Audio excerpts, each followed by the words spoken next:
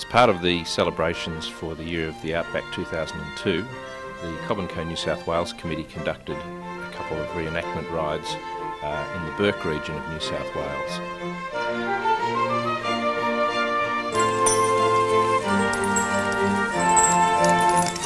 One of the rides was from the town of Brewarrina to Bourke, and the other uh, from the town of Barringun up on the New South Wales-Queensland border, also terminating in Bourke.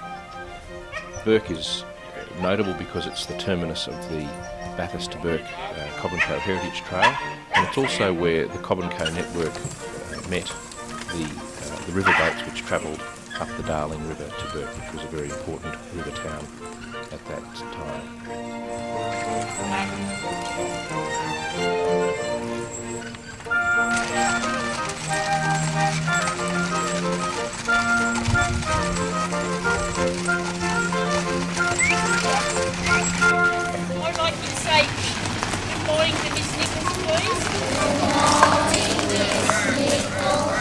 Many older residents in these areas still have memories of the, the days of Cobb and Co, which went into the early 20th century in many country areas of New South Wales.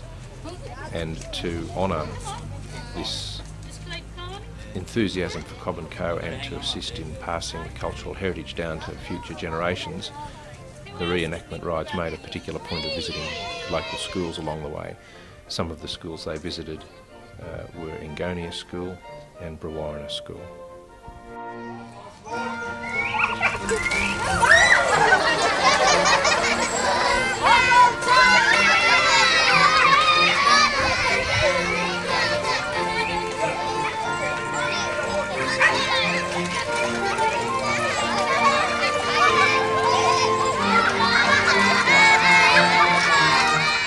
For the wonderful images of the trips that you're seeing now, we have uh, Brother Barry of the Marist Brothers in Bourke to thank. Brother Barry raced all over the place getting footage of both the trips and uh, he's done a wonderful job. Coaches and the horses you're seeing here uh, are as would have been used uh, in the heyday of Cobb & Co.'s uh, enormous coaching network over eastern Australia. The coaches are handcrafted from timber and steel with traditional thoroughbrace leather suspension, providing a similar ride for the passengers as, as would have been enjoyed by the uh, passengers of Cobb & Co in days gone by.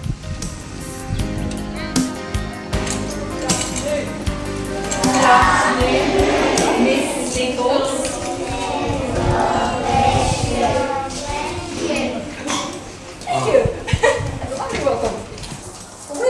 Excited to be able to come along this afternoon and show you the Cobb & Co coach and the team that goes with it.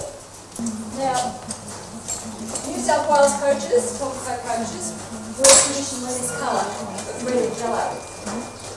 Cobb & Co operated in Queensland, in New South Wales and in Victoria. Horses are uh, crossbreds uh, as traditionally used uh, by Cobb & Co. They were a crossbreed between uh, thoroughbreds and draft horses and this provided the, the pace and stamina. There's so much tangible evidence still out there from the coaching days.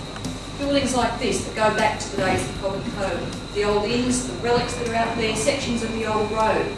The coach and the team, the backup team, will have a fair amount of their equipment with them. They do have things like portable shower. But because you'll be staying at places like Charlton Station, there are shearing shed quarters there and the offer from the property owners to be able to use those facilities. Organising uh, trips like these takes a lot of preparation, probably uh, more so because coach transport and horse-drawn transport is not a common way of getting about these days. The uh, majority of the organisation for the trip was done by Heather Nichols and Barbara Hickson of Cobb & New South Wales and the horse teams were provided by Dave Walker of Forbes uh, in respect of the Brewarrina trip and uh, for the Barringun team uh, that was provided by Bob Edwards based in Toowoomba.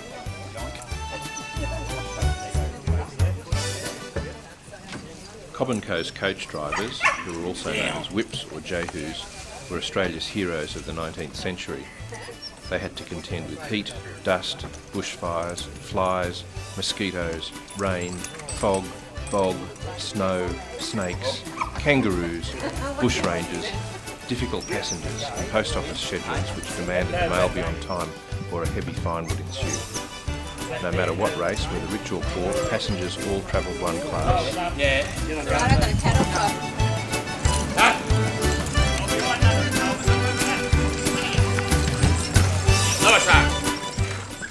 Term box seat arose from this era. Travellers often paid big money to sit on the box seat next to the driver, where they would listen to his yarns, poetry or the latest folk songs. Sometimes the box seat was even auctioned to the highest bidder. Cobb & Co.'s coach drivers were great entertainers who could recite ballads, sing songs and tell stories, some of which were rather exaggerated. All male passengers were required to help with any difficulty at the driver's command.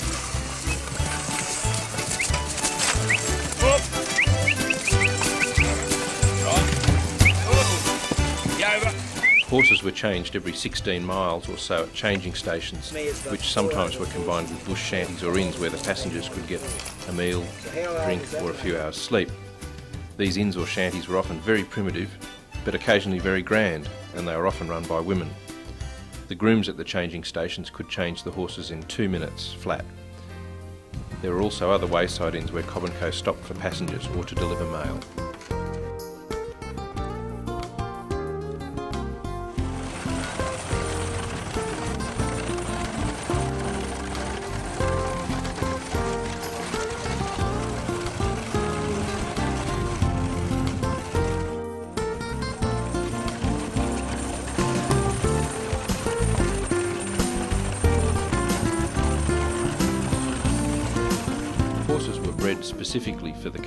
Industry and were strong and speedy.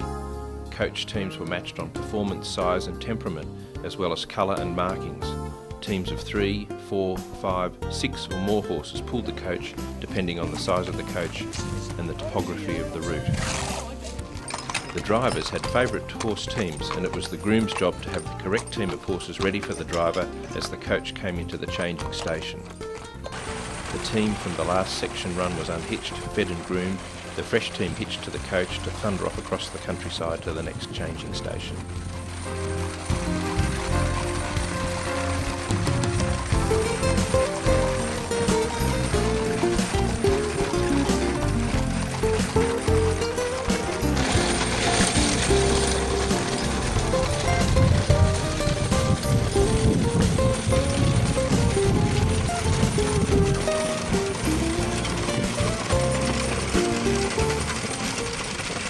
Tell of legends and heroes.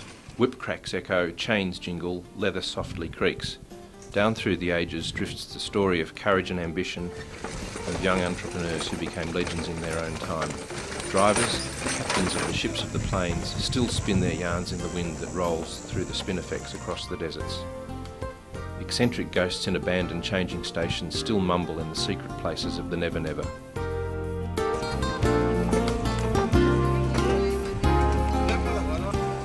These are the men and women who put the first lines, a network of interaction across our country. They wove a net of brilliance, of daring, of life's adventure, crisscrossing each other's destinies. Bejewelled with gold mines and the rich cultural heritage of the world, the net reached out, ensnaring and entaming the bush, the outback, the drought and the floods. The net has survived the trials of time. Life has flourished. The ghosts remain, and the myth and legends are now part of the dream time. Come bring your plates up, get some meat, um, gravy and, uh, and greens and, and uh, All right, David. Barbara will serve up Okay. the.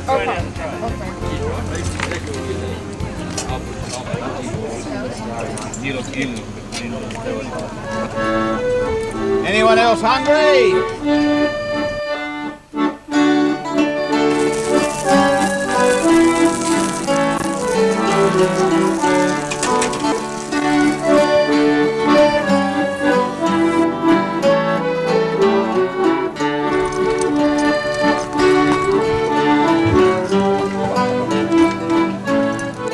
Cobb & Co. initially imported American Concord coaches and later uh, built their own coaches in their various factories around the country.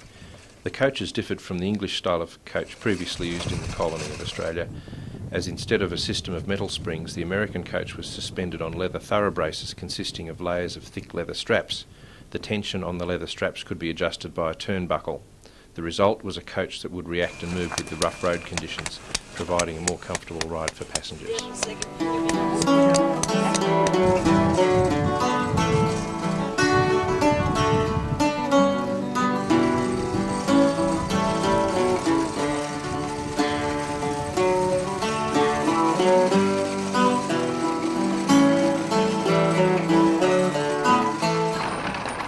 Some of the material in this production has been based on the Cobb & Co Bathurst Bourke Education Resource Kit, uh, which is a fabulous resource for uh, school students, mainly in the primary school syllabus, and is available from your Council in the Bathurst Bourke region.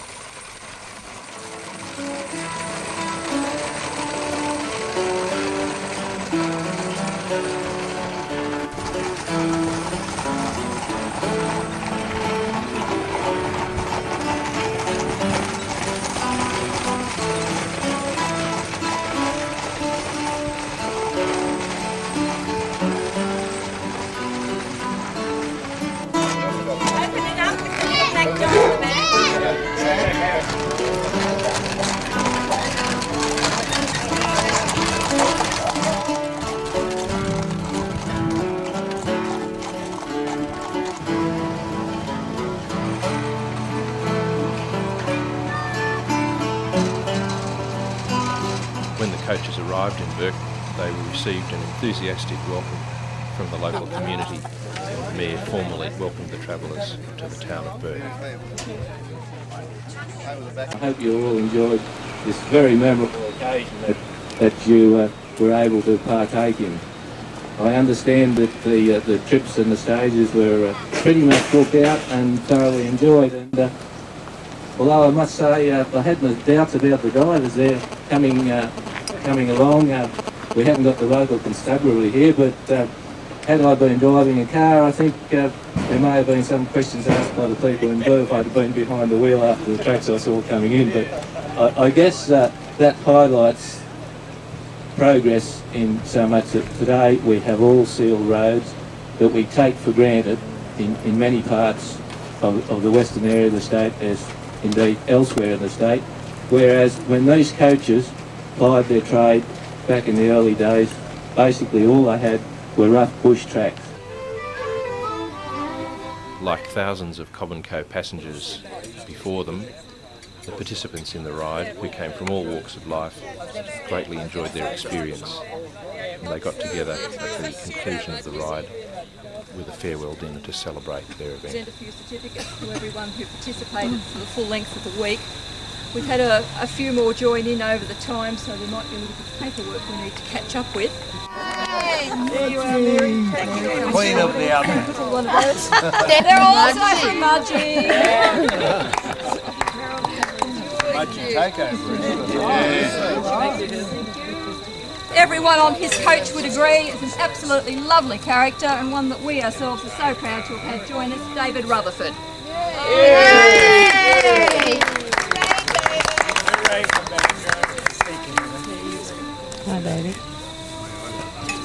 Some of the ladies were actually quite elegant, but none other than Anne Nicholson, who I believe kept a level of uh, comfort, uh, style, grace throughout the whole trip. I have heard some stories, both sides of that, Anne, but we do have an award for elegance on the trail. Thank you very much. Given a pretty startling copy of the Sheer Outback Shearers Male Nude Calendar. I've just come from the opera. Oh, thank you so much. We have a certificate.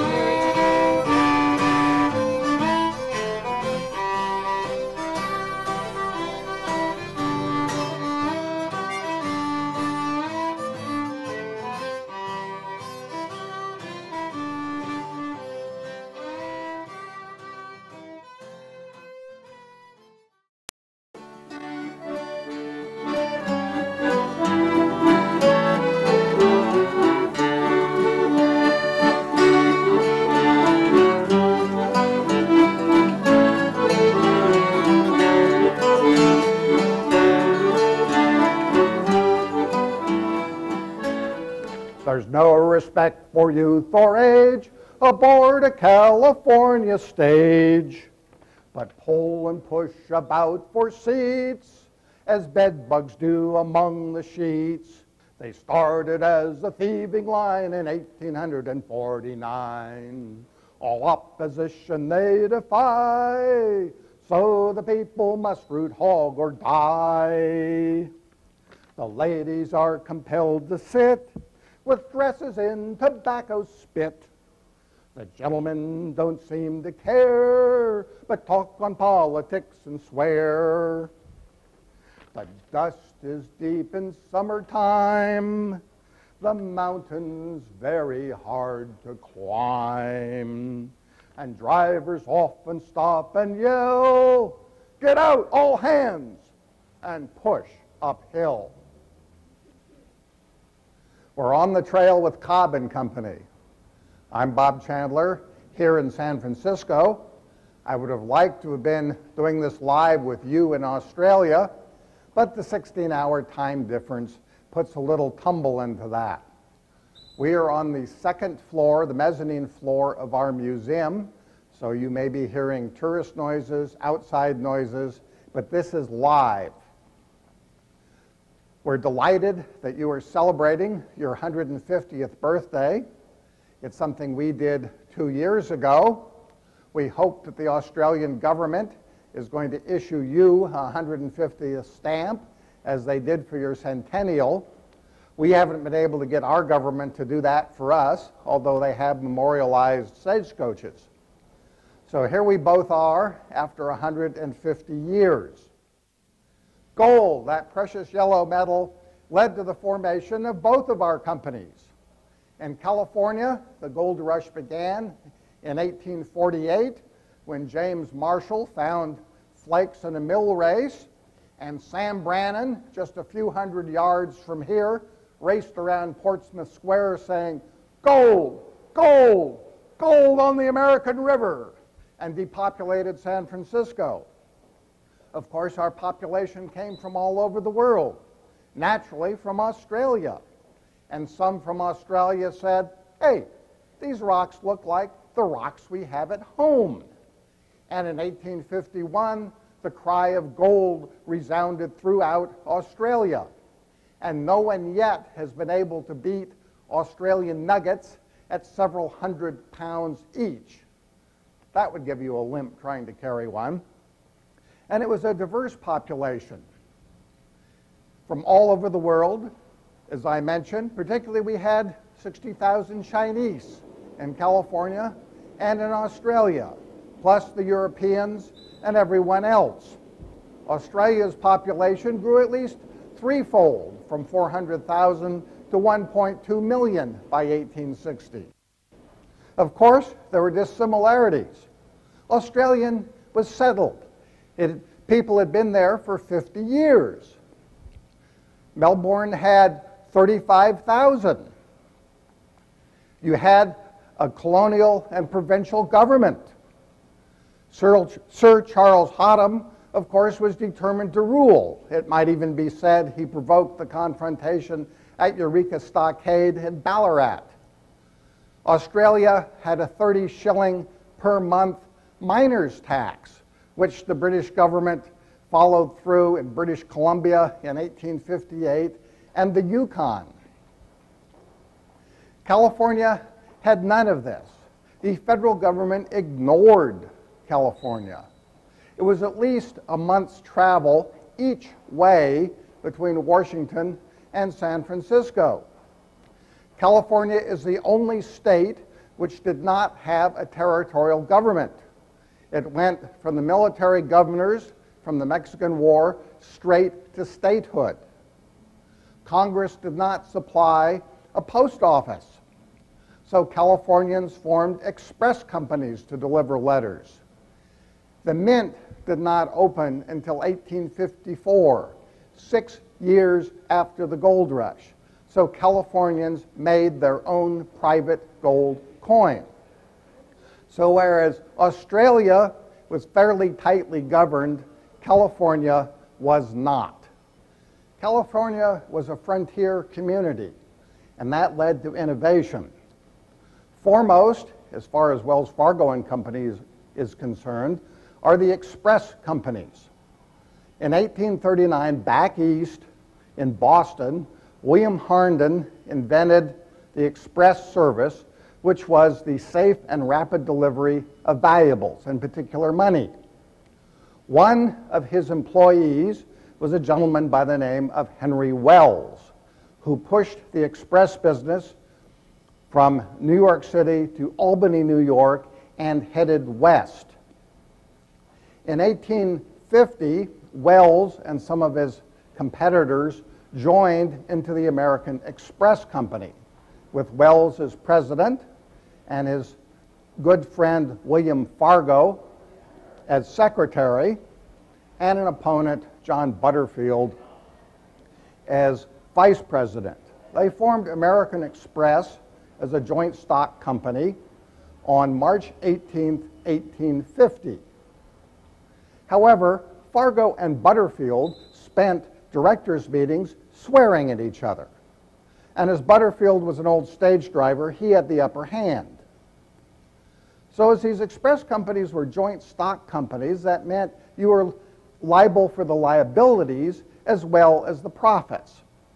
So a group of American expressmen formed Wells Fargo and Company on March 18, 1852, two years to the day, to do business on the Pacific coast.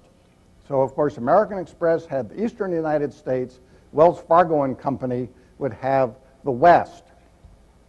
At the same time, there was another express company from the early 40s formed by Alvin Adams of Boston. It was a gold rush company here to California, arrived in November 1849, and the first California Expresses locals had just started about July.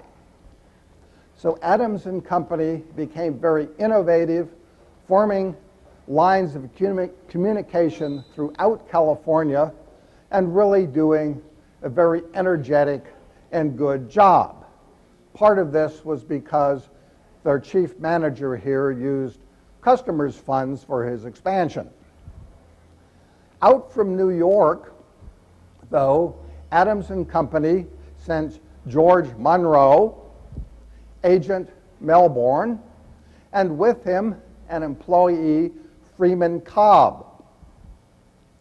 Evidently, by the summer of 52, Adams was in Bendigo, if I'm pronouncing that correctly, the destination of the first Cobb and Company coach.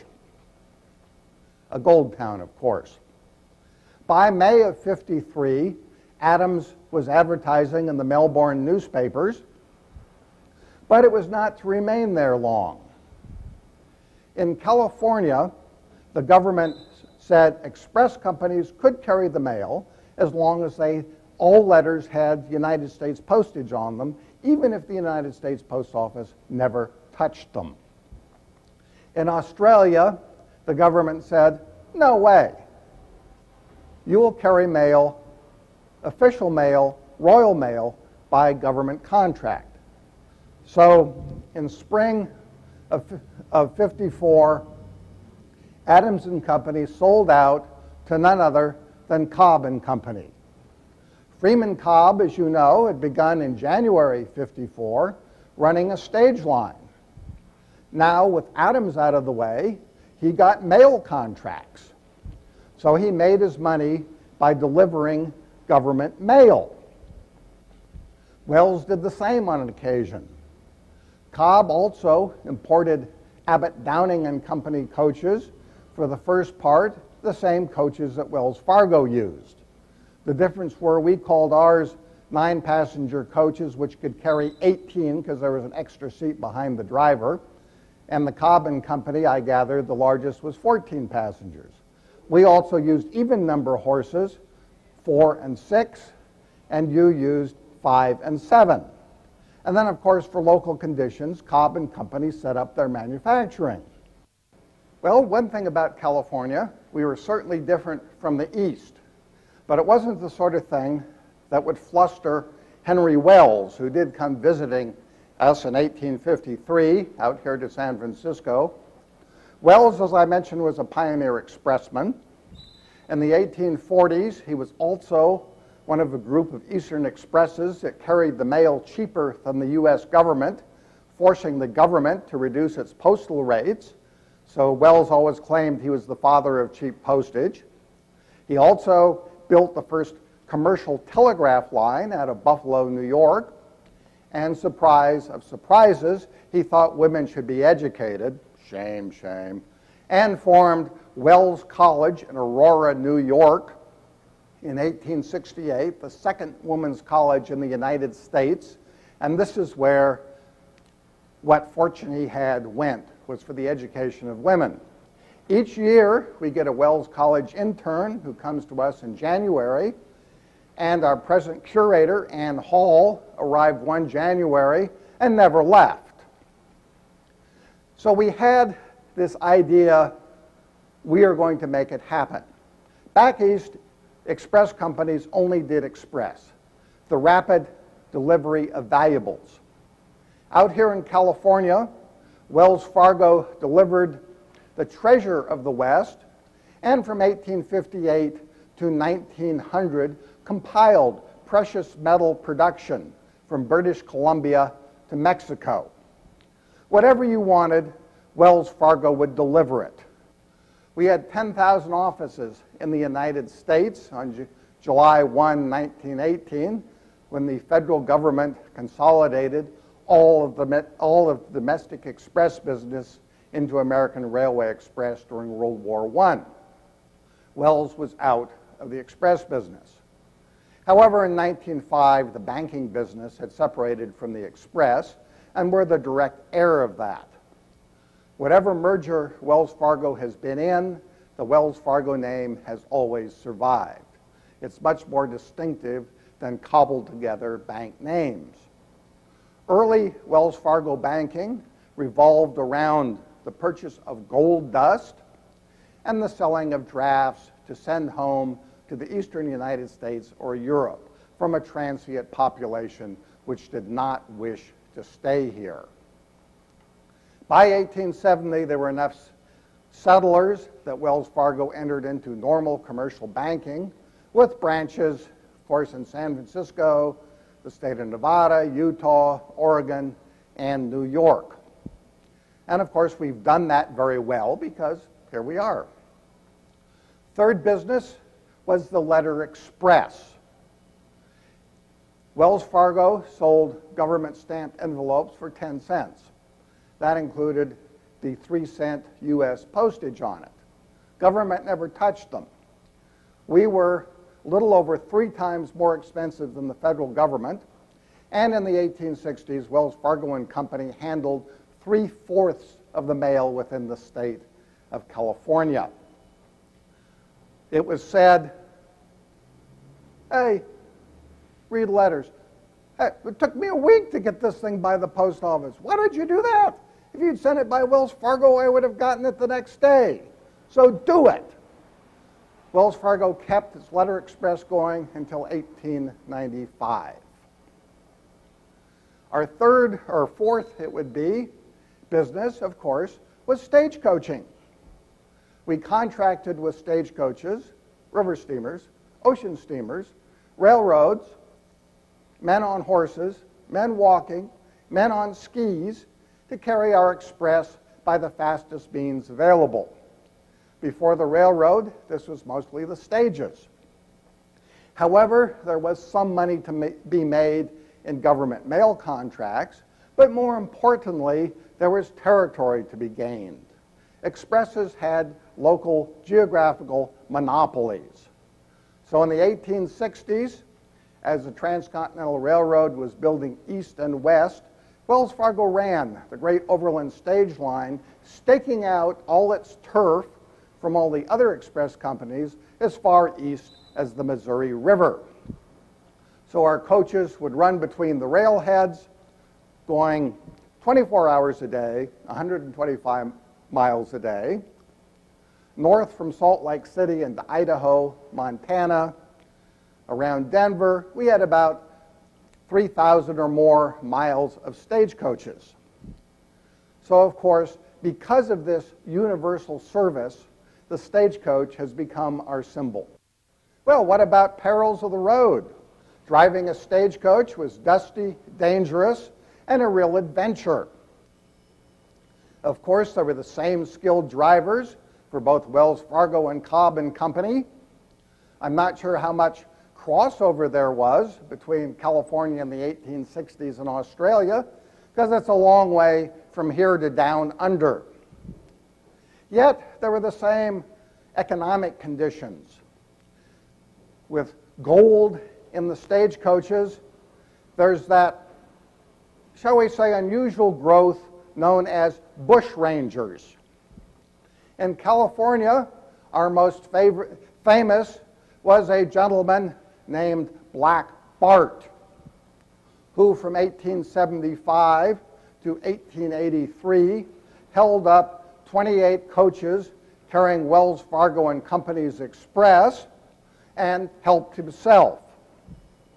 He got his name from a science fiction novel, and he got his occupation from another occupation because he signed his notes Black Bart, the P-O-8, which of course is poet. So here are the entire collected works of a minor California poet.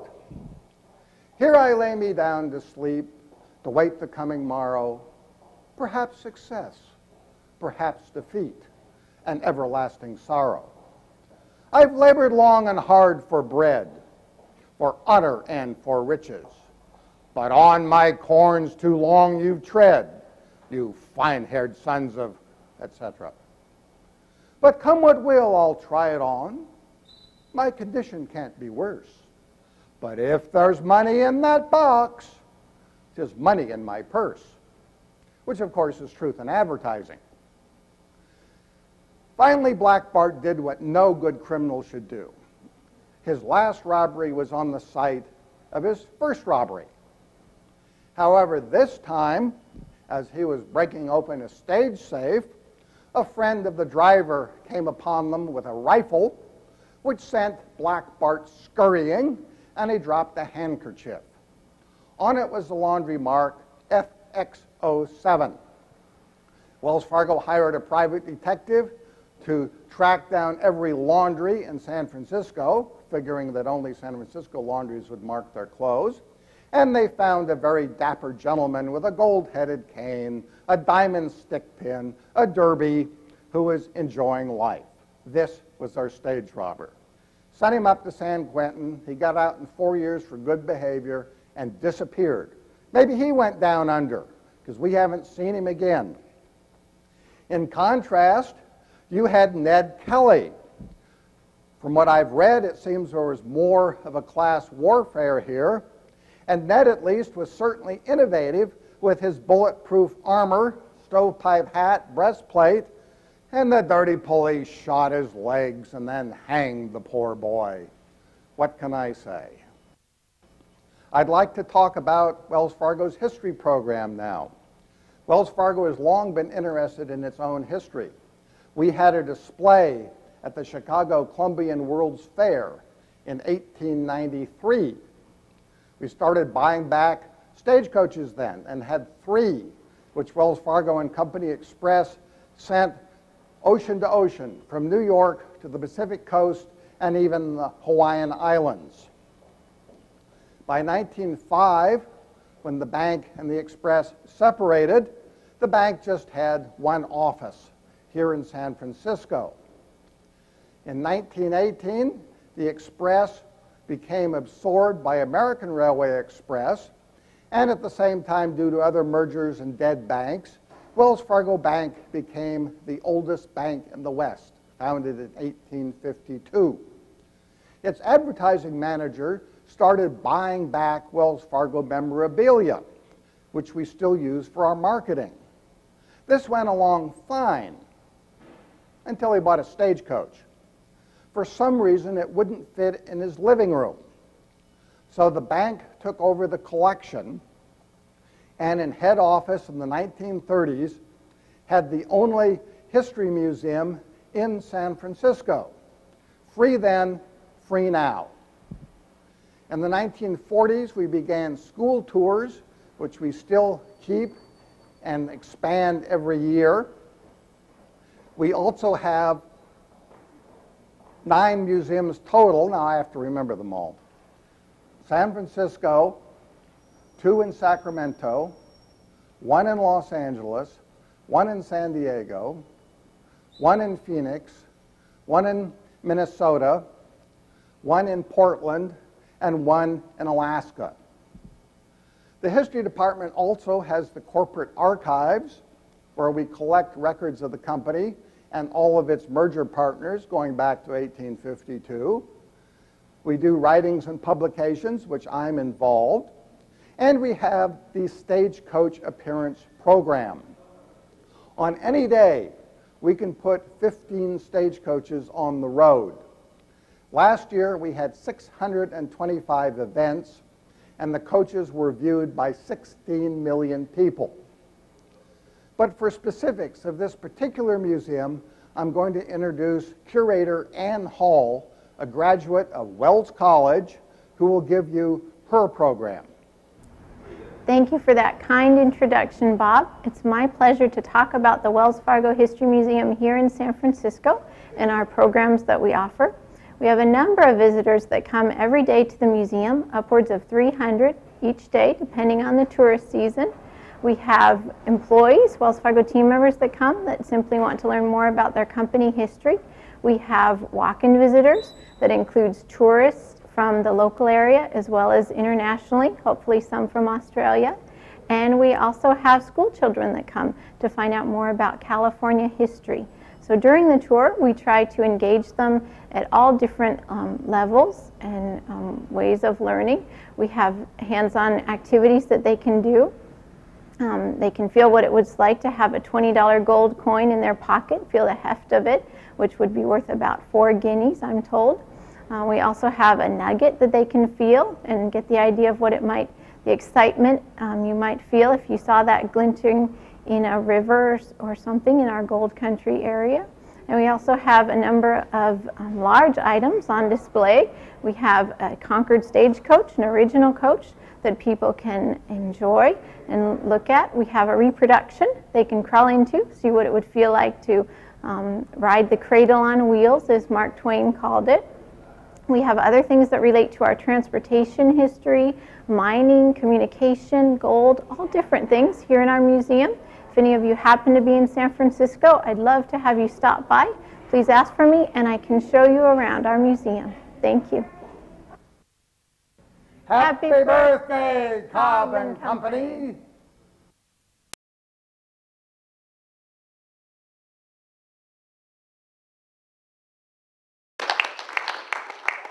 Thanks, John. Um, so it's a great pleasure to be here today to um, speak to this wonderful gathering of people who have come together to celebrate the history of Cobb & Co. As John said, well, I'd like to talk to chat to you today about is uh, the National Museum's Outlawed exhibition.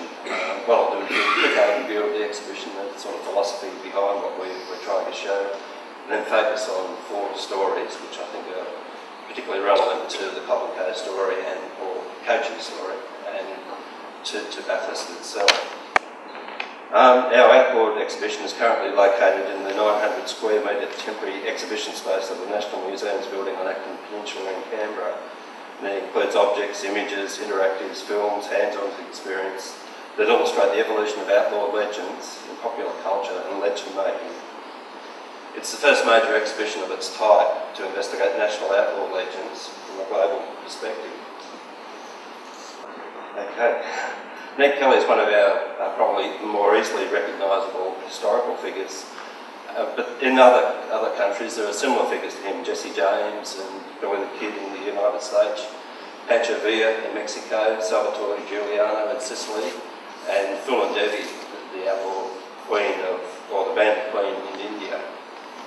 And as you can see from this slide, they're a pretty mixed bunch of characters, uh, but they do have some common characteristics. Each has lived outside the laws of their country, generally in a rural setting, but each has also possessed a number of personal qualities that make their behaviour acceptable to, or at least tolerated by, a large part of their community.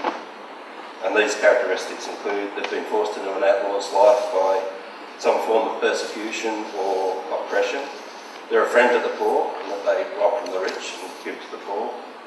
They're courteous, especially to women, and to quote Ned Kelly, uh, they never interfere with any person unless they deserve it.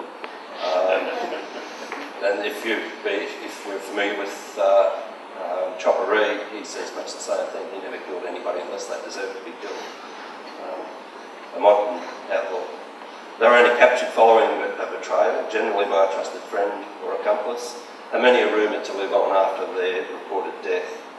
Their exploits have been celebrated in a diverse range of media, including children's fiction, cartoons, theatre, ballads, poetry, films, television shows, computer games, and this is just a small snapshot of the material relating to the Kelly Gang story. Generally, these media portray the outlaw as a fighter against the injustices and inequalities of class or colonialism. They symbolise chivalry, courage, freedom, ruthlessness, tragedy and mystery. Outlaw, our exhibition, asks some challenging questions about these legends. It explores the relationship between the legend and the reality of the outlaw's life and deeds.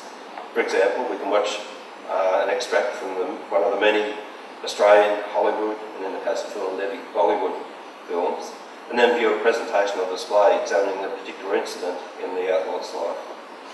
In this way, the exhibition challenges vis visitors to think critically about the concept of the outlaw and its romanticisation in history and popular culture. Uh, at, at, the core of Outlaw, however, are the stories about Australian outlaws, the bush rangers stories that we've all grown up with. Um, this part of the exhibition is the largest part and covers the period from the escape, the first escape of the convict Black Caesar in the 1790s until the governor's outbreak of 1900. The great majority of bushrangers, of course, was simply petty rural criminals who quickly disappeared into obscurity, and it's only a few that have grown to be celebrated in Australian folklore. By placing their stories in a wider global context, a fresh perspective on how Australian stories is going. Visitors are able to find out how our, how our Australian stories and histories, legends and conflicts and implicit values um, compare and contrast to those of other countries. So let's take a quick look through the quick walk through the exhibition. The exhibition is divided into 10 major sections and we look at the, the stories are arranged thematically rather than chronologically or biographically. Um, we begin with a look at the foundation myths of outlawry, the story of Robin Hood, who's the archetypal um, outlaw hero, and that's a small of him in the bottom. Uh, I think you could get between Robin Hood, they can't point sorry. Uh, to show, but, this uh, outlaw legend isn't just a Eurocentric one, it also exists in, in uh, Asian culture, Eastern culture, and so we look at the stories of Ishikawa Goemon of Japanese mythology, and the water margin bandits of China. The body of the, of the exhibition is introduced by the John Hanlon transcription of Ned Kelly's Jerilderie letter. Uh, Kelly is probably one of the few uh, to leave a written, few bushrangers to leave a written justification for his life of crime. Uh, his outlaw gang raided Jerilderie in February 1879 to rob the town's bank and to have a document later known as the Jerilderie letter published. Uh, this is much more than a simple excuse for his past actions. 56 pages of angry words, which in effect is a declaration of war against the authorities of northeastern Victoria. He admits the crimes, like cattle stealing and killing police, but it was also all, but it was all the fault of the police and other authorities, not his. He proclaims a true political agenda in that he calls for the large landowners to sell up their properties and, and distribute the uh, proceeds amongst the poor. And the letter ends with a dire threat. I am a widow's son, outlawed, and my orders must be obeyed. So we move through the sections. In making an outlaw, we look at some of the deeds that have made people into outlaws, cattle duffing, highway robbery and murder, and we'll look at a, um, an Australian highway robbery story in a minute. Confrontation, looks at the conflict between the outlaw and authority figures. Pancho Villa, for example, one of the revolutionary armies that brought down the downfall of the that brought about the downfall of the Mexican government in around about 1915, I think it was. Um, we'll look at a, an Australian confrontation story. Outcomes looks at some of the consequences of outlaw activity. For example, bushrangers like Frank Gardiner and Frank Pearson were jailed, at least for a short time. But on the other hand, some civilians were rewarded for their role in capturing or killing a bushranger, and that's one of the stories we'll look at in a minute. ENDS, as the name implies, looks at the variety of ways outlaws met their deaths. Few of the well-known uh, ones died in their beds. Ned Kelly, for example, I'd like to say that um, without the support of uh, national, state, other state, national, state, local and private collectors, we wouldn't have been able to um, put on this display. Only 20% of the objects from our own collection. 40% um, come from national uh, and other state institutions. 18% from private collectors and most importantly 10% come from local museums. Armed robbery is one of the more most common of outlaw crimes. Travellers, isolated homesteads, mail coaches, gold stores and even small towns like Canowindra and Georgie were held up. The Gilbert Hall Gang, for example, reputedly robbed 10 mail coaches, 21 homesteads and stores and took charge of Canowindra three times. They also attacked the town of Bathurst in October 1863. So what is regarded as one of Australia's largest armed robberies occurred on 15th of June 1862. On that day, at the foot of a rock-strewn hill about six kilometres past Eugowra, a large group of men wearing red shirts, red caps and with their faces blackened, bailed up and robbed the gold escort travelling from Forbes to Orange. At three o'clock in the afternoon, a Ford and Mill coach driven by John Fagan and with a guard of four police rounded the bend to find the road blocked by two bullock teams and a dray that had previously been held up by the bushrangers. Volley of shots was fired, wounding two of the police. The horses bolted, the coach rolled over. After returning a few shots, the police and the driver uh, retreated to, to raise the alarm. The coach was carrying 2,719 ounces of gold plus about £3,500 in money in cash. At the time, that was a value of £14,000. But in today's terms, with gold selling at around about $550 an ounce, the gold alone itself would, today would be worth 1.5 million. The police quickly recovered about 12,000 ounces of the gold and made several arrests. Ultimately, only four men, however, were placed on trial for the robbery. John Maguire, who was acquitted, Henry Manns, who was hanged at Darlinghurst in March 1863, and John Bow and Alexander Fordyce, who were both sentenced to life imprisonment.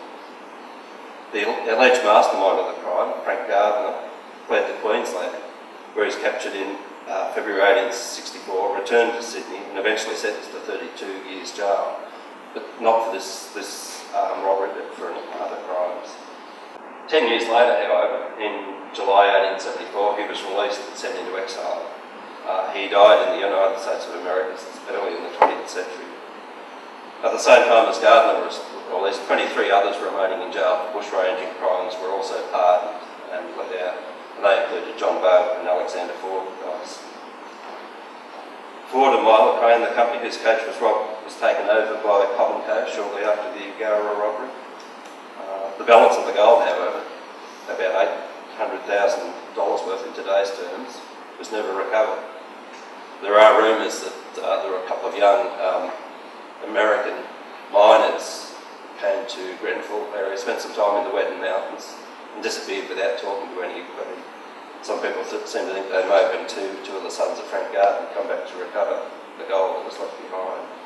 Confrontation with, with authority is an essential component of the outlaw legend.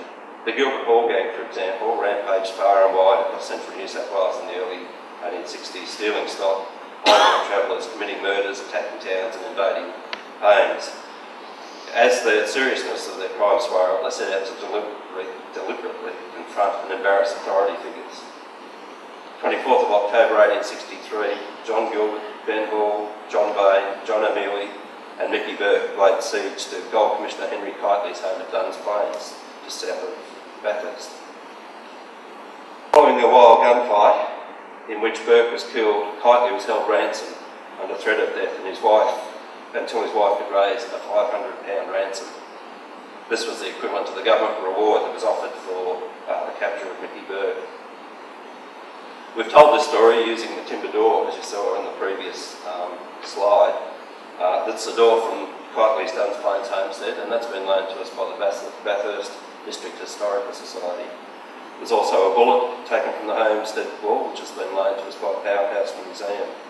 And also this Patrick Moroney painting titled Woman Pleading with Bushrangers, and this is depicting Mrs. Keightley pleading for her husband's life.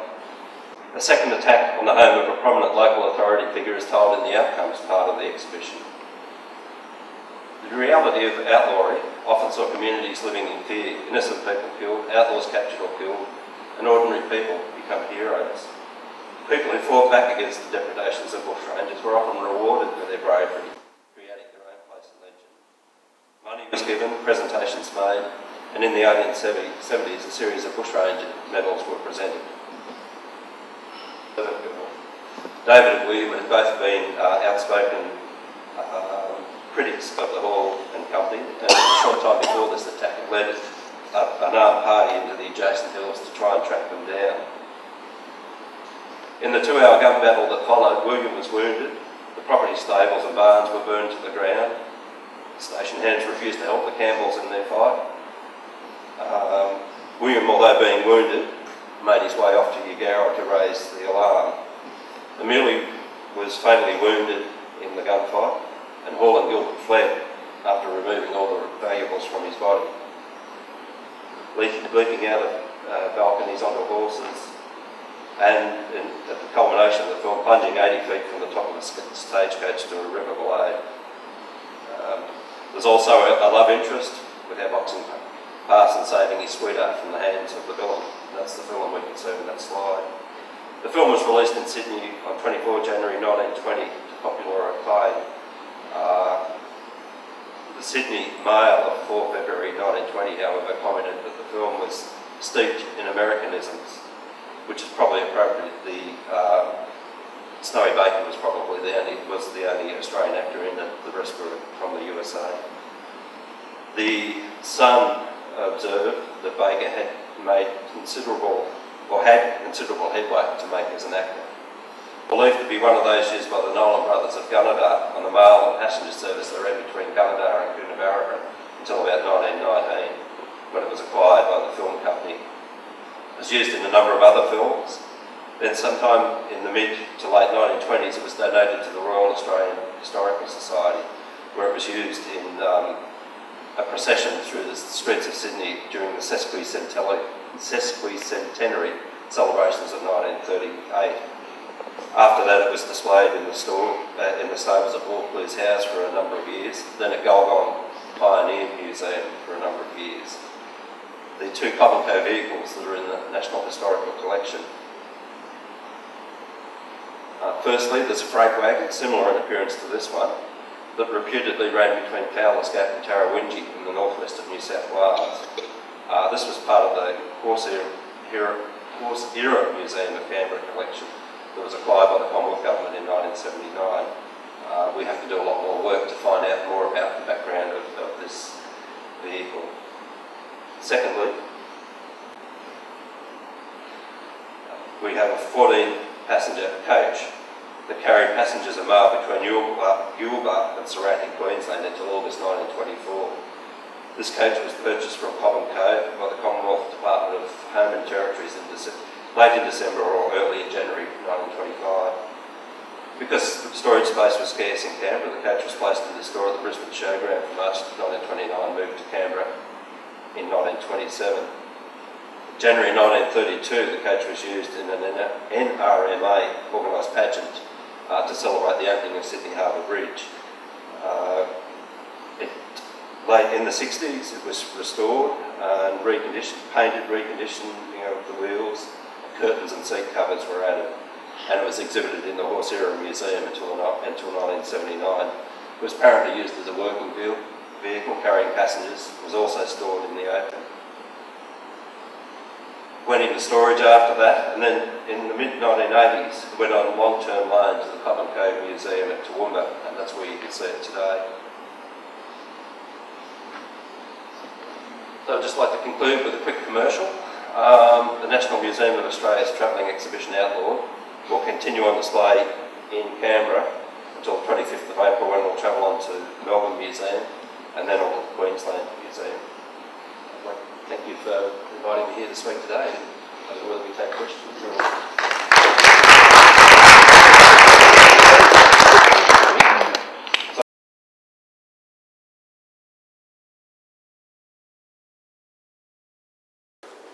Thanks very much, Ian. Uh, I'd now like to call on uh, Councillor Les Woodman, Chairman of Commonwealth New South Wales, to welcome you. Thank you, uh, Mr Mayor, for your kind remarks and encouraging remarks. And when I see the number of people we have here, I believe we do need encouragement because it'd be so easy to get downhearted and depressed because this place is not overflowing this morning.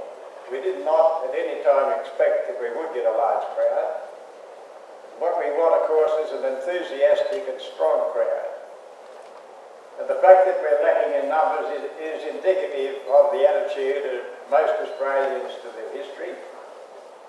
It's been neglected in the past, and I've no doubt, unless we do something to stir enthusiasm that way, and I'm looking forward with great hope that the present Premier will be one who he has stated that our history is something we've neglected, and it's something that we've got to look after.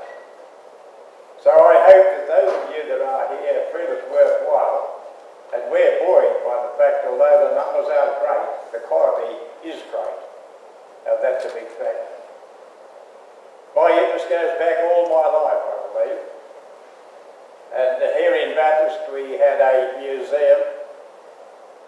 I used to get down there and watch the, look at the lions and the tigers all paraded in their glass cases. And away in the corner, in a dark part of the corner, was a Cobb & Co coach. And I was in there one day with my father. I don't know how it happened. There was eight in our family, and I was about the middle one. But he and I were there alone.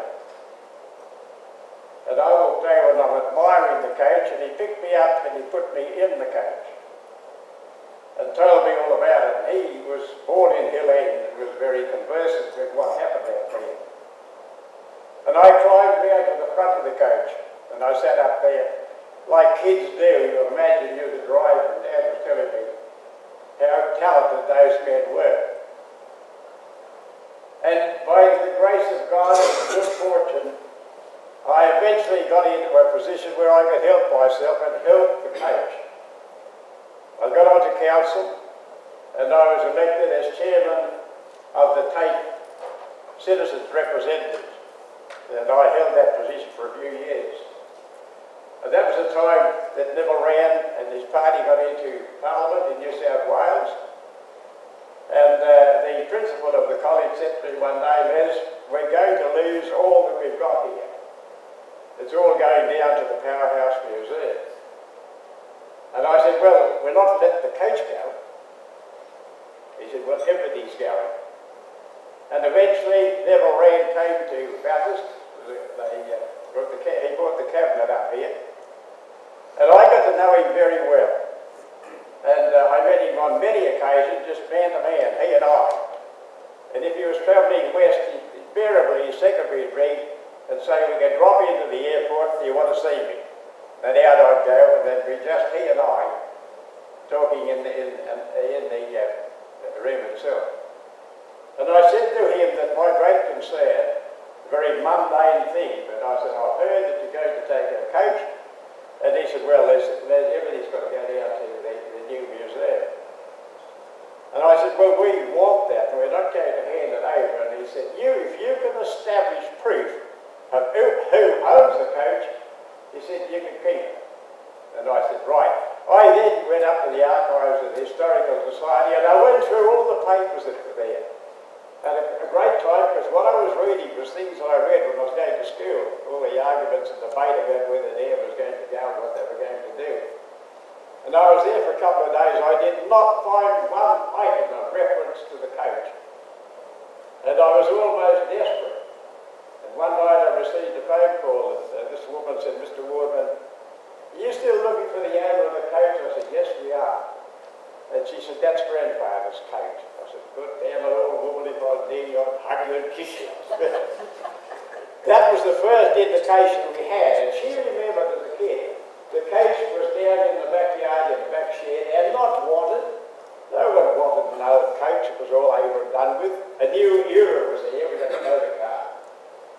And so it was from that that I got the, the uh, coach back to us and Neville Wran. I don't think he would have taken it actually, but he said gave us the freedom then to do what we. We sent the coach up to Newcastle to tape and they made an absolute mess of it. And when it, we didn't know, I didn't know anyhow. We came back, and put it on display, and a fellow from uh, Narromine was going through one day, a fellow by the name of uh, Don Burns. And he contacted me and he said, that coach you've got there, and he said, they've got rubbish in it. I said, well, you better show me. And I came down and he showed me where a few on the front where they had three ply, it wasn't right. And he said, uh, he said, I'd like to repair the coach. I'd like to bring it back to what it was. And I said, well, it's a matter for the council's consideration. We had to pay for it, of course. And I think the, I think the quote was $20,000. So we shipped it up to Narromine. And I went up periodically and I didn't see much movement. And the last time I went there, which frightened the dickens out of me, our coach was a heap of metal in the middle of the room. And he said, that's the art of good. yeah, I will, mate, right. But anyhow, he said, well, I've been a bit dilatory, but I'll get him stuck into it. Now, he did. Now, those of you that haven't seen it, go and look at it. It's down the bottom of William Street. That is our coach. And that coach I've been associated with since 1927. I was eight year old when my father lifted me into the coach. And that's been a part of my life. I have never been in the coach since the day Dad lifted me into it. I would not go into it. I've had plenty of opportunities. I haven't even sat in the driver's seat. And when we got it back fully in it, the condition it is, and council were very supportive and they put a, a resolution through that the coach was not to be used for any display purposes, uh, for display purposes only. No one was to get in it. That bylaw was breached three times by our chap that was in charge of the information centre. He's been photographed three times out of the city. I've never been there. And this one, of course, is one that we got because we couldn't use the other one. Because we, we believe our coaching history justified it, we decided to get this one. Don Byrne talked me into it. He said, Wardy, I've got all the stuff up there to build a three-seater coach. And I think, I'm not sure, I think it's about $30,000 to do it. That is this one. And we've got it for the people to use. We've got Robert Crozier over here, and Robert's got his couple of horses, and at the appropriate time and the appropriate function, Robert gets them in, we drive around the town. But this is the, the coach. The construction of this coach, or several of this, that made Cobb and Co what they were. And the great advantage of the thoroughbrace system here, this leather racing system underneath. Because prior to the Wells Fargo coaches coming out here, all our coaches were metal sprung. They were of British origin. And with a load on and the rough roads, they couldn't keep the coaches on the road, the springs were breaking. And when Cobb and Co came out and got going, they bought the thoroughbrace system. And it worked quite simple. Can see I'm only a little bloke with not much weight. But look what I can do to that coach. And we've got letters of people who have travelled from here to Hill End, and the great thing, they complain about the fact that they all were seasick because of this rocking and pitching of the coach. And when Freeman Cobb came out with his three friends, I saw a brochure once when I had to speak on the Cobb and Co, and the first thing it said was that Common, uh, Freeman Cobb came out in 1853 with his brothers he stayed in Australia for seven years and went home a very wealthy man. None of that is true. He came out with three others, but they were employees of Wells Fargo. And because of the success of the Wells Fargo transportation company from the goldfields into back to the bigger cities, they knew that this is where the money was. And Freeman Cobb brought two Conestoga coaches with him. And that allowed them to overcome the opposition of all the other coach lines that were operating. There were dozens of them. But they went in, and these people, marvellous businessmen, Freeman Cobb, he was only uh, 30, when, only 20 when he came here. He was born in 1830, so he was 22 when he came out. The ages of the other three, I think 24 was the eldest, and that could have been uh, James Rutherford. It was a great coincidence that men of such talent got together. And Rutherford states himself that when he went and he saw the boat, he said, I didn't even know it was going to Timbuktu. He didn't know where he was going. But he got on the coach with the, on the, on the boat with the objective of getting out and making a, I suppose, opening up the country. And they did that in a marvellous way. We owe a lot to James Rutherford. It was his tenacity, his courage in, in, in declaring that the coach line was coming from Victoria and it was coming to Bathurst. He led them here and he had to override a bit of opposition from the other members of the company. Because Freeman Cobb himself was only in Australia for three years and uh, they got his name and there's never one been named uh, handed on generation generation is that Cobb's name. He, he did very little at all, but he had a short name Cobb and Co. it had a ring about it. And they could have called it many other things, but they stuck to that. And when Cobb left to go home after three years, and he was not a well man, he had rheumatoid arthritis when he was young, he walked with a limp, and that was a physical impediment that restricted him in much of what he could do. But he was an accountant by trade, and he had a brilliant analytical brain. He could see what was going to happen before it did happen and he set them on the right path. And although the company changed hands two or three times, eventually it was James Rutherford who steadied the ship. And he got it going, and uh, they, of course, they went from strength to strength. And when they came here in 1862, it's recorded they came in over the river and the whole town. Had 12 coaches, squire wagons and Lord knows what. And the driver of the front coach was James Rutherford himself. And it's from that that we really got going. He, he opened up the country because these vehicles had the ability, they could get from point A to point B quicker than you could ride a horse. Many people said, oh, I could get on a horse, but you couldn't beat this coach. And that was because of the marvellous organisation they had, where they ran their horses until they were just past their peak, then they changed them. And that the distance they travelled on the staging was it could be 10 miles per it didn't matter the distance, it was the terrain mostly that knocked the horses about. And when they go out there 10 to 12 miles, they could and did change the horses throughout in two minutes flat. You see them changing the wheels of the cars in the races up here at the mount.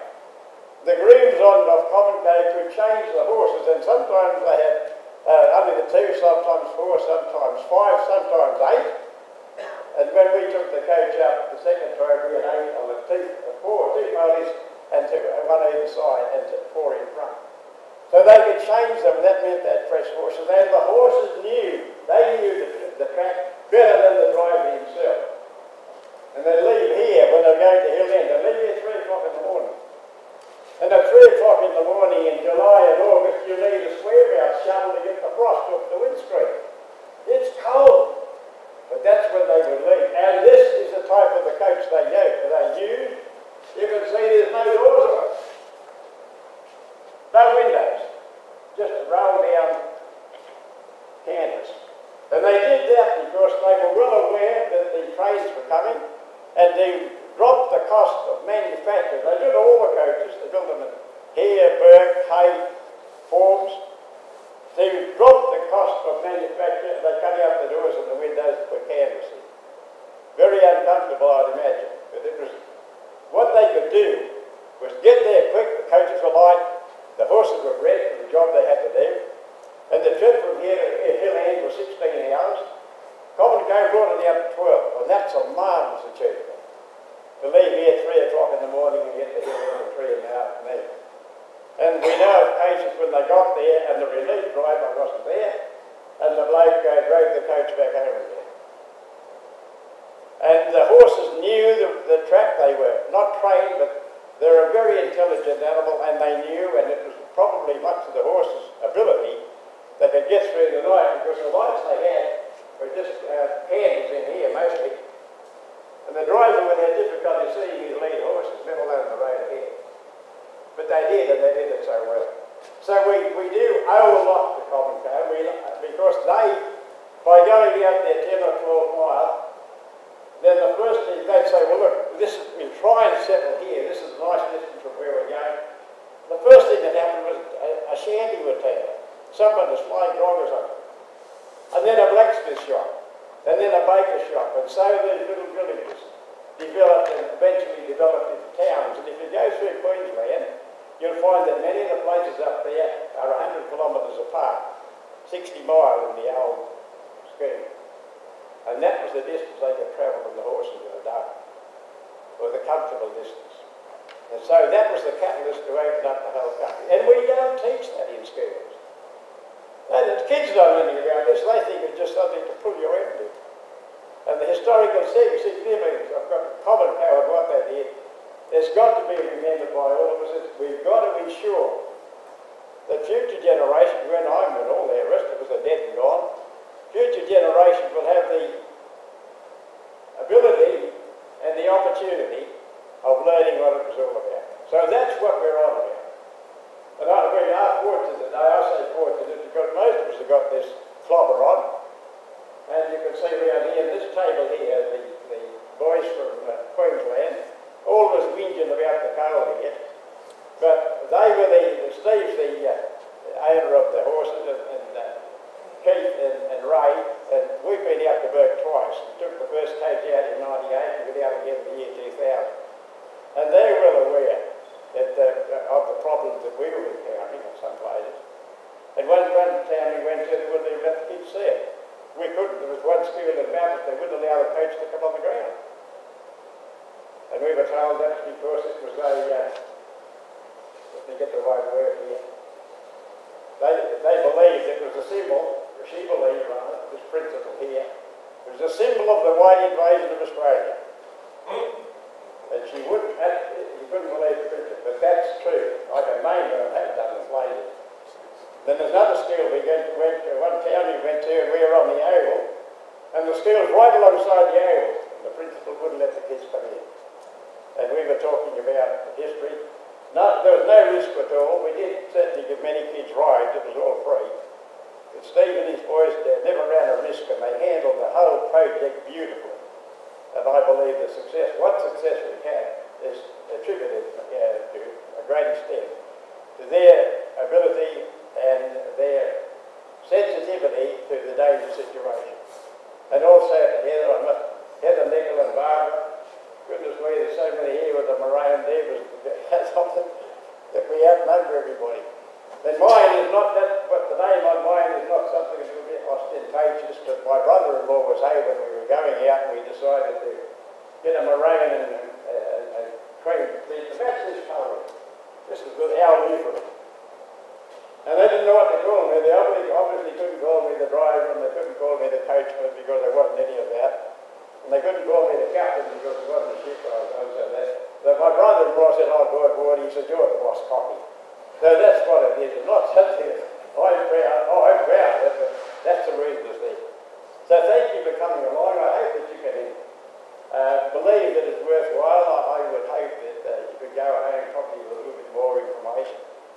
And if you go to Hill End, I'd suggest if you can make it, uh, you need to grab the sides of the vehicle, just be white knuckles in a few places to take the bridle over it. And that's the one you should take. I went down three or four months ago, and you look down 100 feet below is the river. And you look up this way, nothing between you, only the track around. And of course, you can imagine taking a coach around in that type of, uh, if you get there, go and see the, uh, I think it's a, the Hill of History or the Historical Museum. You walk into a shaft and then you climb up about, I forget how long it is, how high it is, but it's a, a, a replica of an actual mine. And, and what he's got there, he hasn't got one of one thing, he's got 20 of that. And uh, uh, he, he's not getting the recognition he wants, like all people who want to promote history. But if you get the opportunity to go there, I didn't know I'm going too long again. Overdue. But anyhow, thank you for your attention. I hope that you enjoyed it. If there's any question you want to ask about Prophet Darren, if I can't answer, my mom will come. So everything will be there on or on Monday. Thanks for your attention.